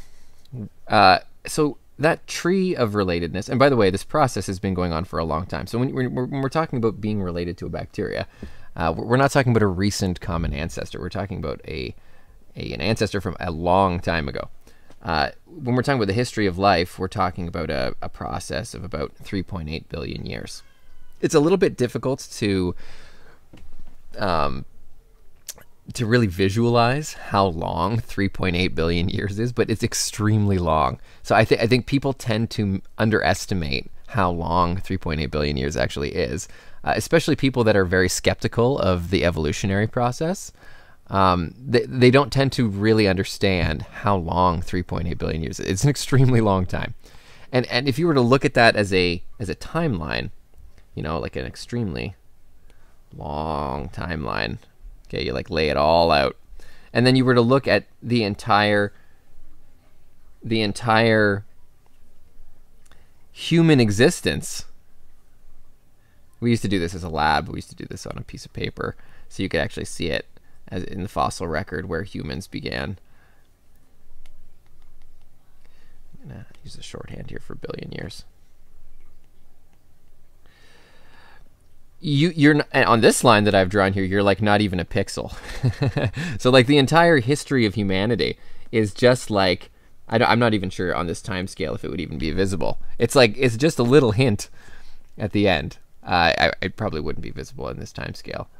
So um, we we used to do this with um, like ticker tape, if you've ever used ticker tape in physics, or or like a receipt tape, and we'd roll it out, and it would go all the way down the hall from the uh, King Street parking lot all the way down to the uh, stairs that go down to phys ed. It's a long, long thing, and it, it, it where humans are is like the last centimeter quarter of a centimeter at the end of the tape. So I mean, it's like our, our entire history as a species, not not even talking about recorded history, but our, our history as a species existing is just just a tiny tiny fraction of the entire history of life on Earth. So we're we are talking about an absolutely massive um, time scale here. That's important to remember because the process of evolution does take a very long time. Um, but anyway, um, you, you we see speciation events occurring from the origin of life all the way up until now. And so if you were to lay the actual tree of life along here, uh, you would it obviously begins with a single organism at the beginning. Uh, and that, that organism is known as the origin. We know a little bit about the origin. We don't have a fossil record for it. It's a single cell. Um, or even even anywhere near this old because single-celled organisms don't leave good fossils. So um, a, a, lot of the um, the idea of what the origin was is just based on what we know about the early Earth and what materials can form spontaneously in the environment of the early Earth. And so a lot of experimentation has been done to find out okay, if you have these chemicals in this temperature, you know, in this pressure, what can form? What can form? And it's it's actually really amazing what can form. Lots of things. Uh, simple RNA sequences can form. Uh, plasma membranes, which are cell membranes, can form spontaneously from the chemicals uh, that are found in the early Earth. So um, We don't get into this too much in this course, but if you're interested in this, there's a whole area of science that is uh, that investigates this. Um, but anyway, we, we don't have direct evidence for the origin, obviously, too long ago. Uh, our direct evidence is actually quite a bit more recent um, because it's mostly fossil record evidence, but but we, we can make good guesses about stuff early on. And so what we see based on homologs, uh, by the way, uh, we can also figure out how long ago, roughly, the splits occur in the tree. So when we're talking about an origin, an original species, and then a speciation event happening, okay, a speciation event is when one species becomes two. We talk about this more in the evolution unit, so I'm not going to go into great detail here. And then over time, there's another speciation event, and some of these subspecies become their own species. They, they split off. Some of them go extinct, some of them don't. Uh, but you can you can start drawing a tree from the origin all the way up. And of course these these trees get more and more complex as, as life evolves on earth. And you can you can keep drawing the tree up and up and up and up and up uh, until present day when you get all the way up until now. And we we have some pretty good tools to actually figure out where some of these splits have occurred on the tree. And how we do that is we look at the number of differences in base pairs between related things. When we're talking about single differences, single base pair switches, single letters in the code, uh, there is a natural background rate that DNA mutates at. If you just let a species exist in nature and reproduce, over time, it will get changes happening to the DNA. Random mistakes, they're called mutations, and we'll talk about them more in detail later.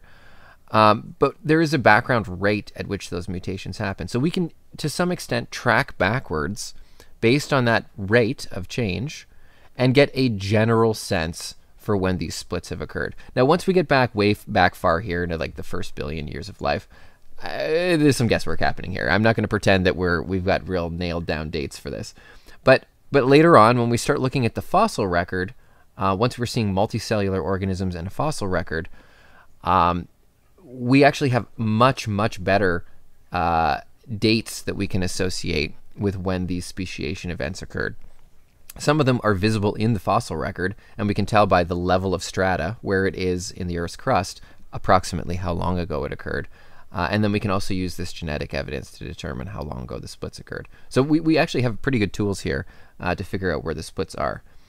Uh, we'll, we'll, do, we'll do more on uh, the evidence for evolution later on in a different unit, but the, the general idea here is that if you trace back all living things, you can trace them all back together. They run together at some point to a common species. So you have a common ancestor with a chimp at some point in history, and I, I think on another page here I have more specific numbers on these, uh, or with other, the other primates or other animals or whatever.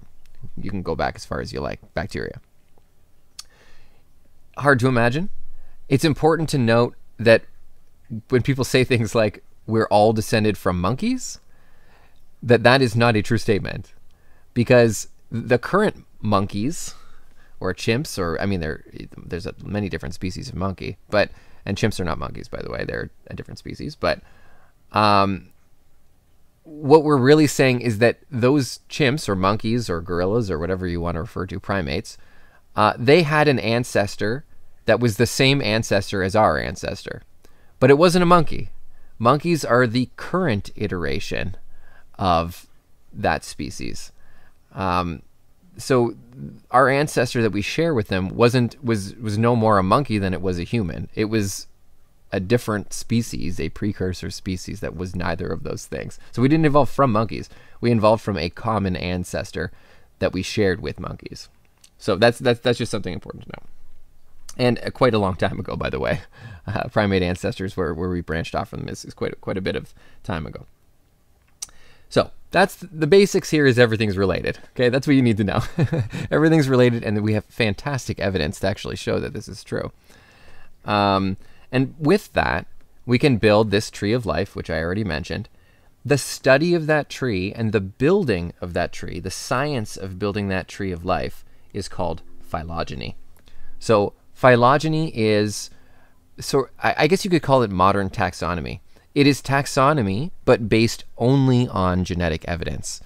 Um, and what we try to do now is update our taxonomical system whenever we discover something new about phylogeny. So if we learn something about phylogeny that does not jive with the way that we've organized things taxonomically, we usually change the taxonomic organizational structure. Now, to, to give Carl Linnaeus a ton of credit, he actually did a really good job knowing nothing about the genetic relatedness of species.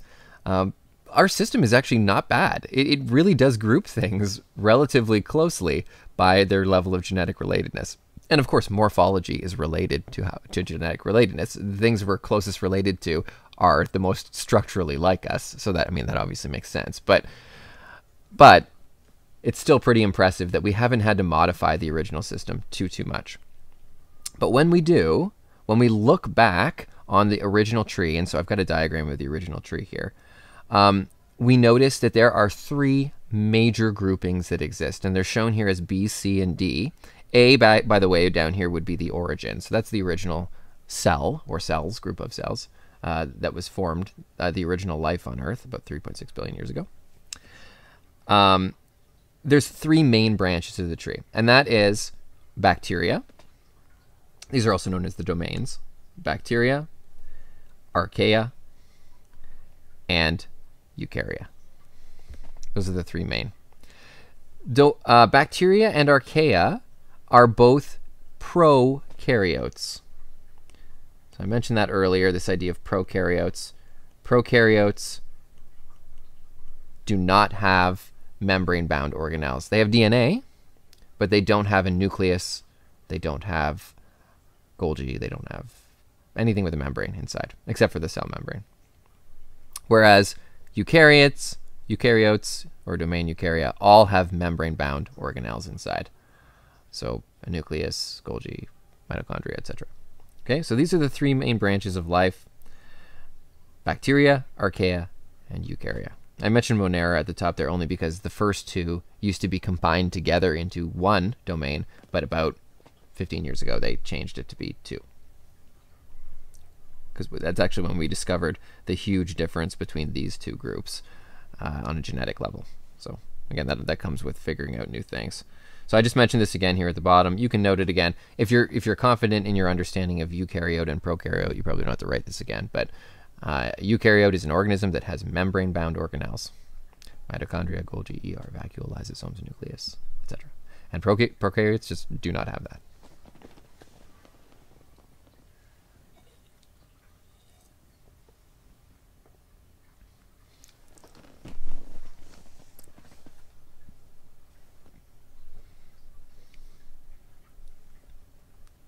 So, what characterizes these three main domains then?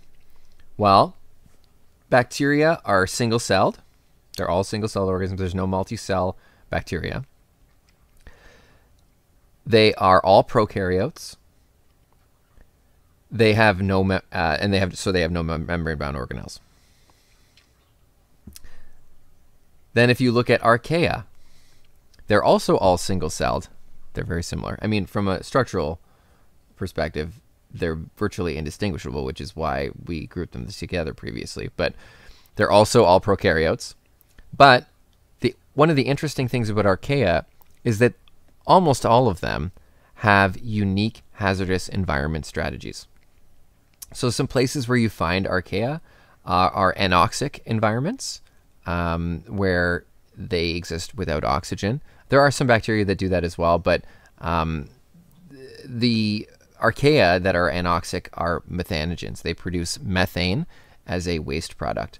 Uh, those would be the archaea that you're most familiar with because they live in your intestines.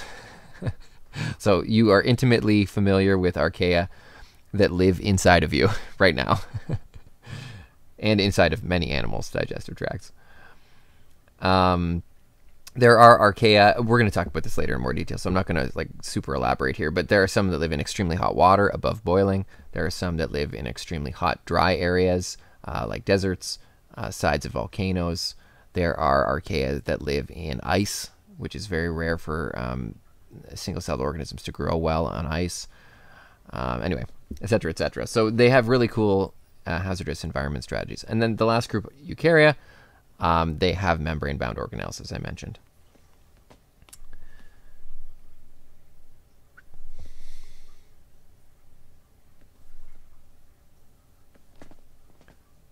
Gave people enough time to write that. It's really hard to figure that out while I'm doing a video because I have no feedback from you guys whatsoever. I think it's probably fine. Because you're typing, you probably can type faster than you can write. Okay, I'm going to assume that that's fine. If not, I do post this. In fact, uh, I will. I'll go back in a second and uh, re-upload this, but it is um, it's available. So as I just mentioned here, um, we really favor genetic relatedness now over morphological analysis, over looking just at the physical characteristics. Uh, so if they disagree with each other at all, uh, we usually go with the, the, genetic evidence. But there's a lot of buts in biology, unfortunately. Um, like many scientists, biologists have a real attachment to history.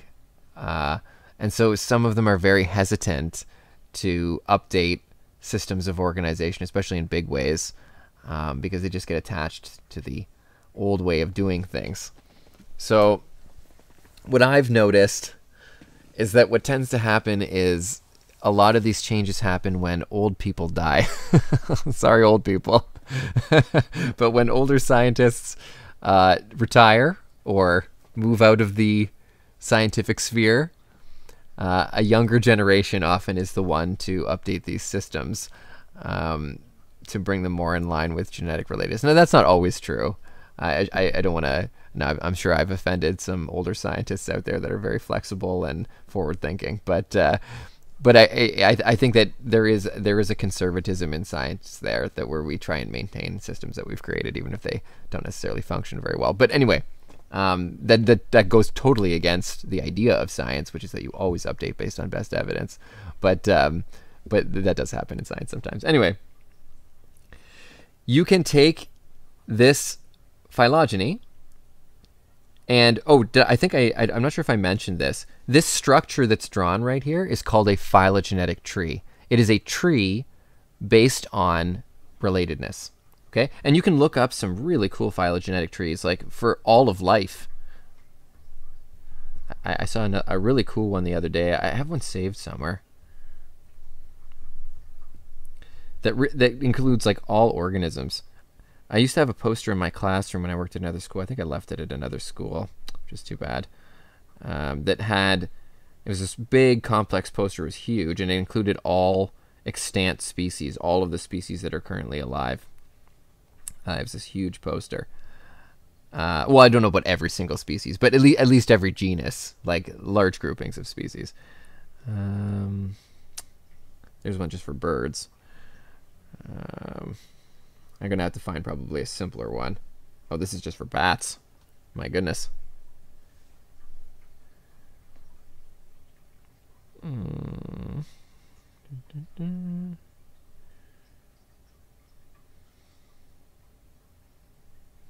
This oh this is this is pretty good. Can I zoom in on this? Wait, oh it's low res. I want the high res version of that. Is this it? Nope. Bats again. I'm gonna give up on this in a second. I don't want to waste time. But anyway, you can find complex trees like this that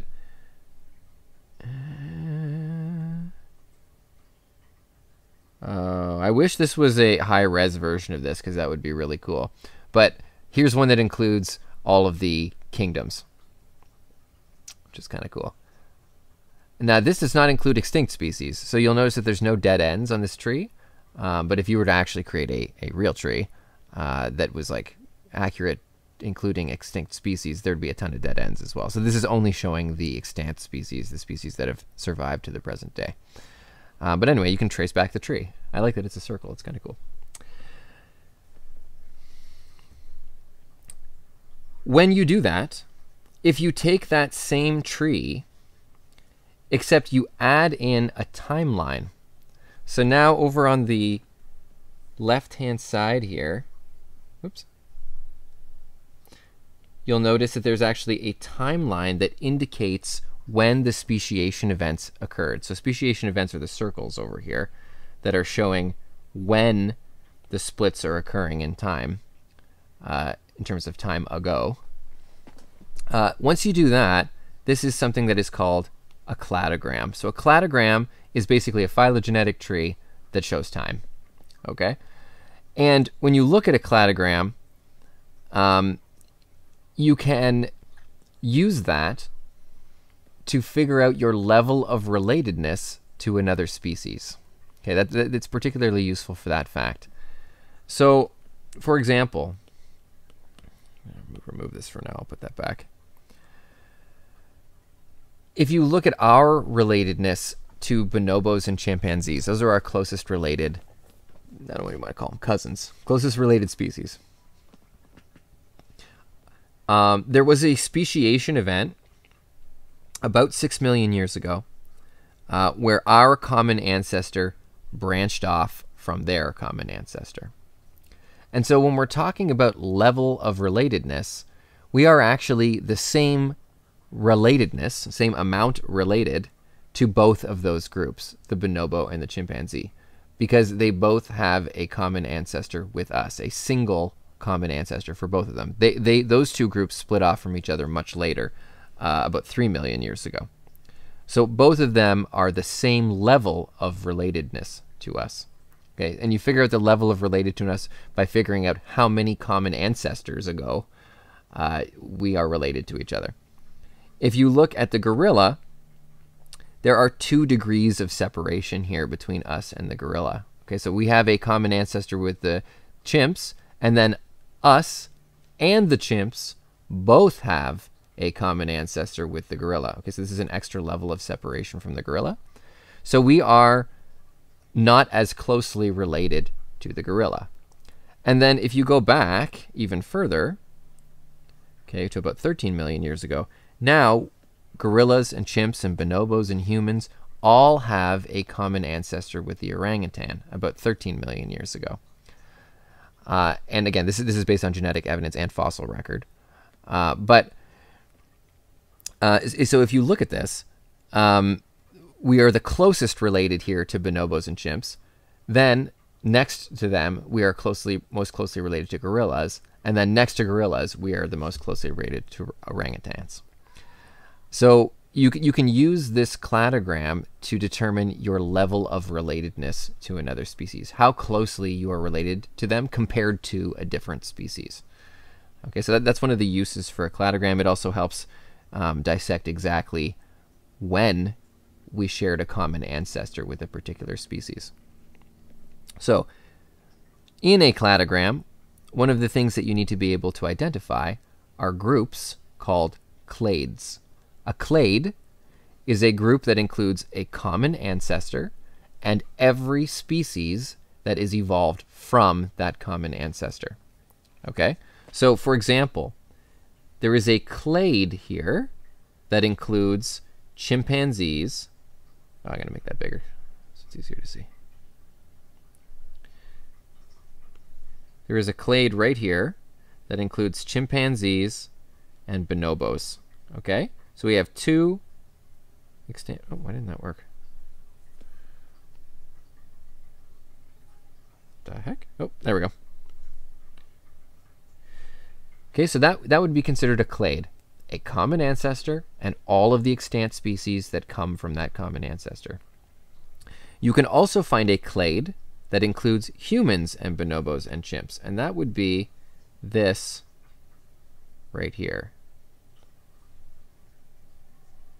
So this is also a clade. This clade includes the common ancestor between humans and bonobos and chimps, and all of the extant species. Extant is just the opposite of extinct, by the way. It means still surviving. Extant species that are related to that common ancestor, that came from that common ancestor.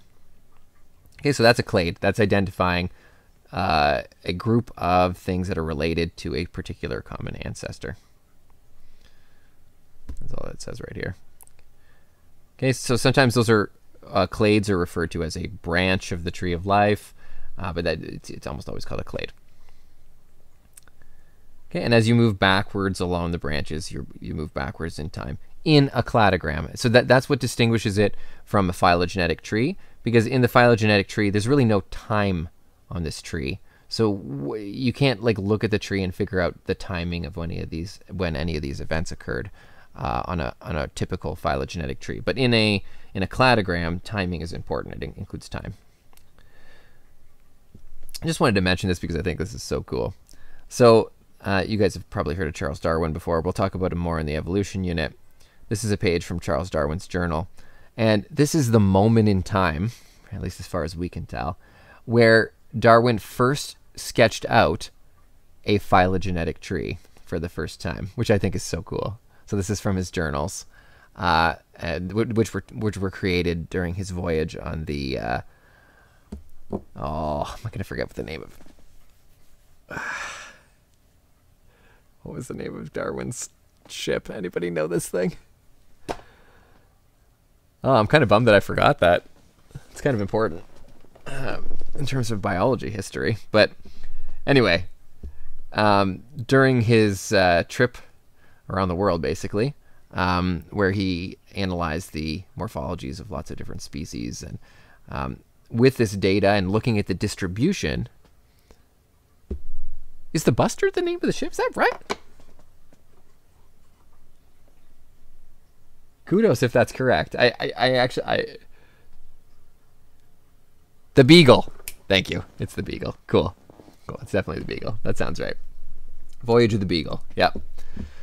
Um, anyway, the first time that he ever sketched out this idea based on the geographical distribution of the species that he saw. Uh, he was like, oh, you know, it really seems like these four are related to each other somehow. And those four are also related to this other group of four, and then and he he, kept, he sketched the first phylogenetic tree. So this is this is when this idea first became part of like the scientific consciousness, which I think is so cool. That like we have that moment in time preserved. Um, I mean, talk about way, being way ahead of your time. This is before any genetic evidence or really fossil evidence or really anything could have been used to confirm this idea. Um, so this, this is just a conjecture at this point. It's not really an.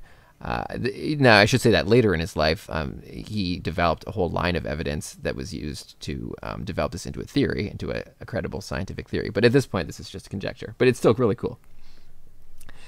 Anyway, um, here's an example of a cladogram uh, for all of the animals. Uh, now the the this is this one's problematic because it doesn't include dates, which is kind of annoying.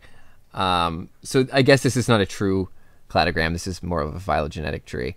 Um, it does show levels of relatedness to each other, uh, but there's no timing, which is kind of a bummer. But um, it talks about some of the major groupings of animals uh, that were shared by a particular common ancestor. Uh, and it does include level of relatedness because the things that are closest to chordates, for example, are the most closely related species because we share the most homologs. Remember that this is totally based on homologs, or largely based on homologs in a fin- uh, phylogenetic tree.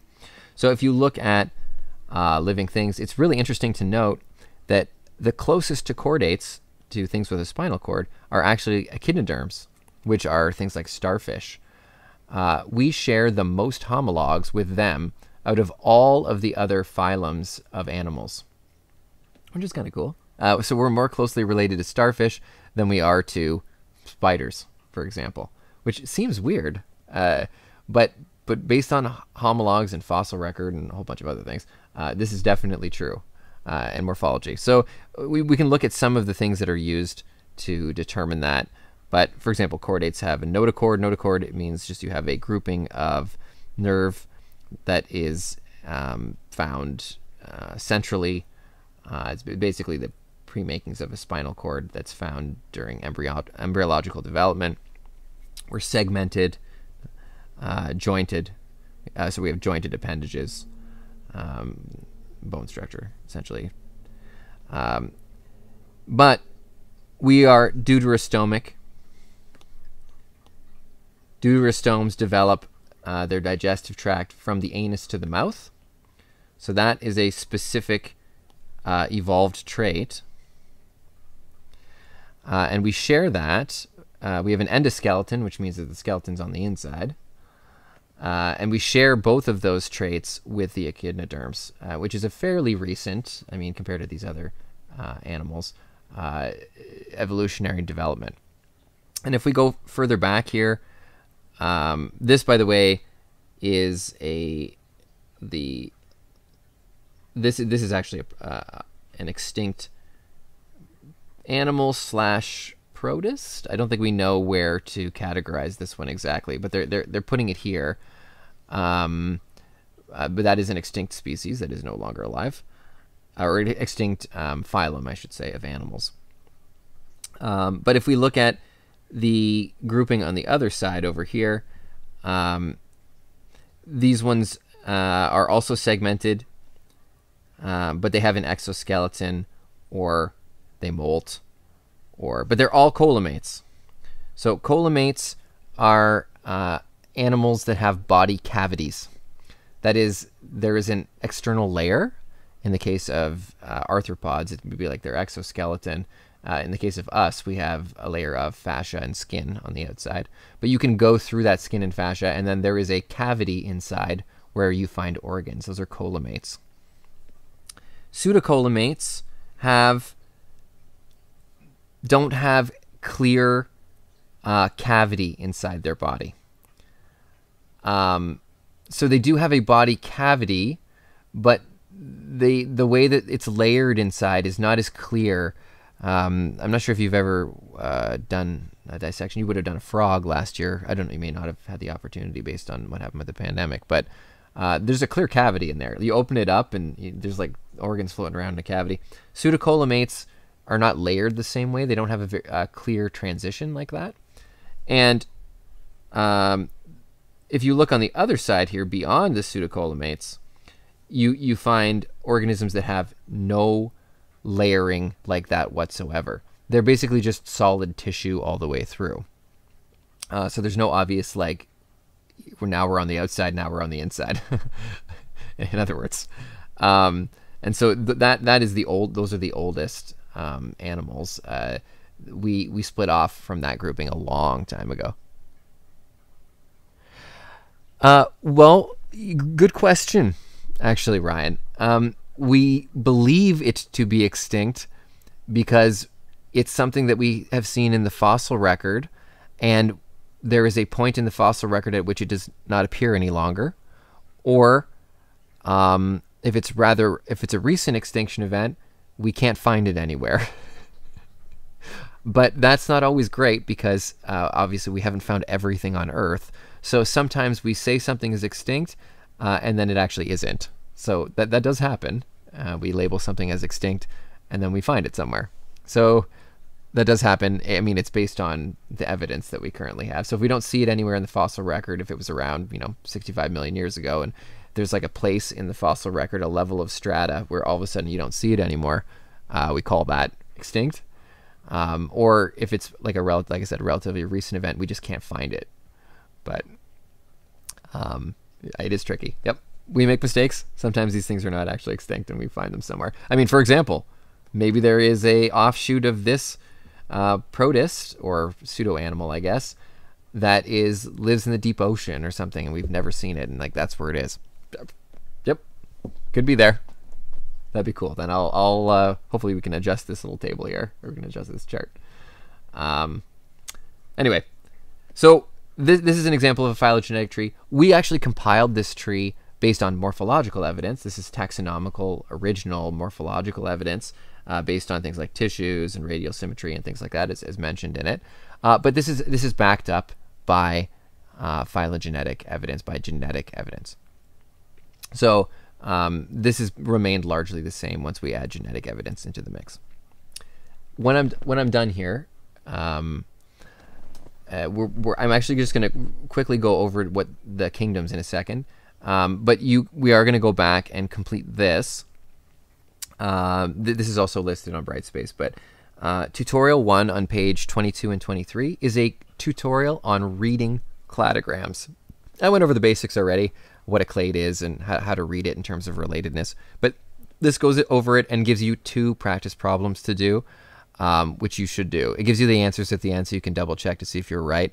Um, but being able to read a cladogram and look at your level of relatedness to another species is, is important. It's actually one of the essential learnings for the course. So, uh, and there's some questions on the quiz about it. So, so there's a little tutorial there on reading um, cladograms, and you're going to do that in a minute.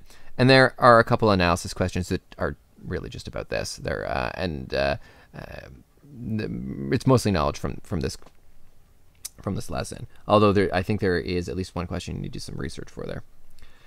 So anyway, we're going to leave that to the end. I'm just going to finish this next part. This is this is actually quite brief. Um, so anyway, I, have talked a little bit about level of relatedness here. This idea of the phylogenetic tree based on genetic evidence. I've mentioned the three domains, so I've already talked about what the three are. Uh, I want to talk a little bit now about the kingdoms. So there are six, and really for the rest of the course after today, we're going to be spending time digging into the kingdoms. So we'll spend a whole day on bacteria, or it, used to be a whole day. Now it would be, I guess, like one block, like block one or something, on bacteria and archaea. And we'll spend a block talking about fungus, and we'll spend a block talking about protists. Uh, some of these things you'll have very little experience with. Me personally, uh, before I went to university, I had never even heard of a protist. and and I, I took this course in high school and we either skipped over it or we just ran out of time. We must have ran out of time because I learned absolutely nothing about protists in high school, and so I was I was kind of blown away that all these these living things existed when I when I took my micro course in university.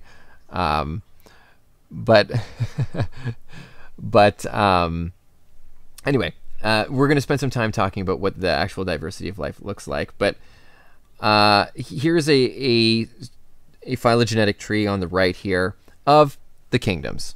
Okay? They are the six main taxonomic groups underneath the domains.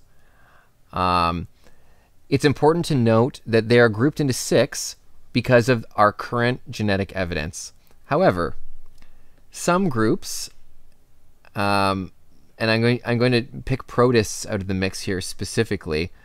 Um, when you look at protists over on the right here, they actually include a whole bunch of different things that are really different from each other. Um, and when we get into protists, you'll see what I mean. You might wonder, why do we put those in the same kingdom? Like those don't even seem vaguely similar to each other. That that's a problem. So protists are, are the worst grouping. They they are not grouped very well. Uh, not based on genetics and not based on morphology. And and if you look up the definition for protists, um, it actually is defined as doesn't fit into the other kingdoms. And you'll you'll see why. There's a bunch of weird stuff in protists. So so there's an excellent chance that, that it will not be six kingdoms forever. You know, you might go to university and there might be seven or eight kingdoms. It wouldn't surprise me. So uh, just just so you know, these are not static, and they do get updated from time to time. I have a very strong feeling that protists are not going to be around for much longer based on genetic evidence, but we'll see what happens. Maybe maybe I'll be corrected. But the second component of this, so I am going to get you to do um, this uh, these questions up here and this little tutorial on cladograms. The second component of what I'm going to get you to do is complete this table. Uh, you can use the information on page 27 in your textbook on the basic characteristics of the six kingdoms. Okay, you don't need to get into too much detail here. Um, it doesn't get into that much detail on page 27, but this is just an introduction. What is kingdom Eubacteria, or sometimes just called bacteria? What what is that kingdom? Like, what are the general characteristics so I would know to put something in that kingdom? Same thing for archaea, protista, fungi, plants, and animals. Okay, and then I want you to include two examples from each. Okay, when you include those examples, I want you to include the common name. Oh, why isn't this working?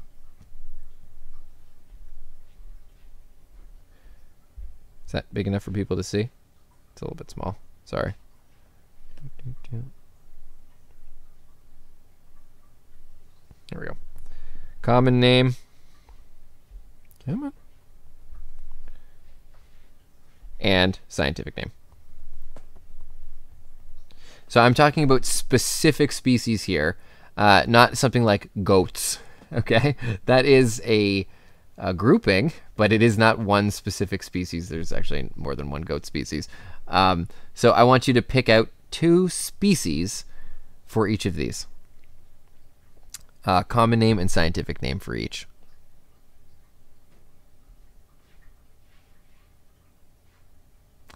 You download the notes for Kami. It only let you upload to page six. Oh. Did it only have page up to page six in the first block of notes? Is that possible? Should have been there. Let, let me look on here. Did you did you upgrade to the full version of Kami using the link, Grace?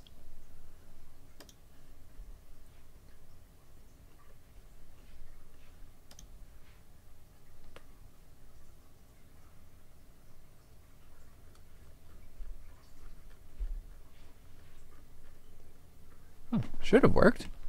I don't know. You might want to double check that. You, I don't think there's a page limit, so you, you should be able to edit the entire file. That that is very strange. Um, you, can you do it on paper? Sure, you can do it on paper. Absolutely. I mean, what I really care about is that you do it, not necessarily the uh, the venue. Um, but keep in mind that for the textbook questions, so that would be, where is it on here?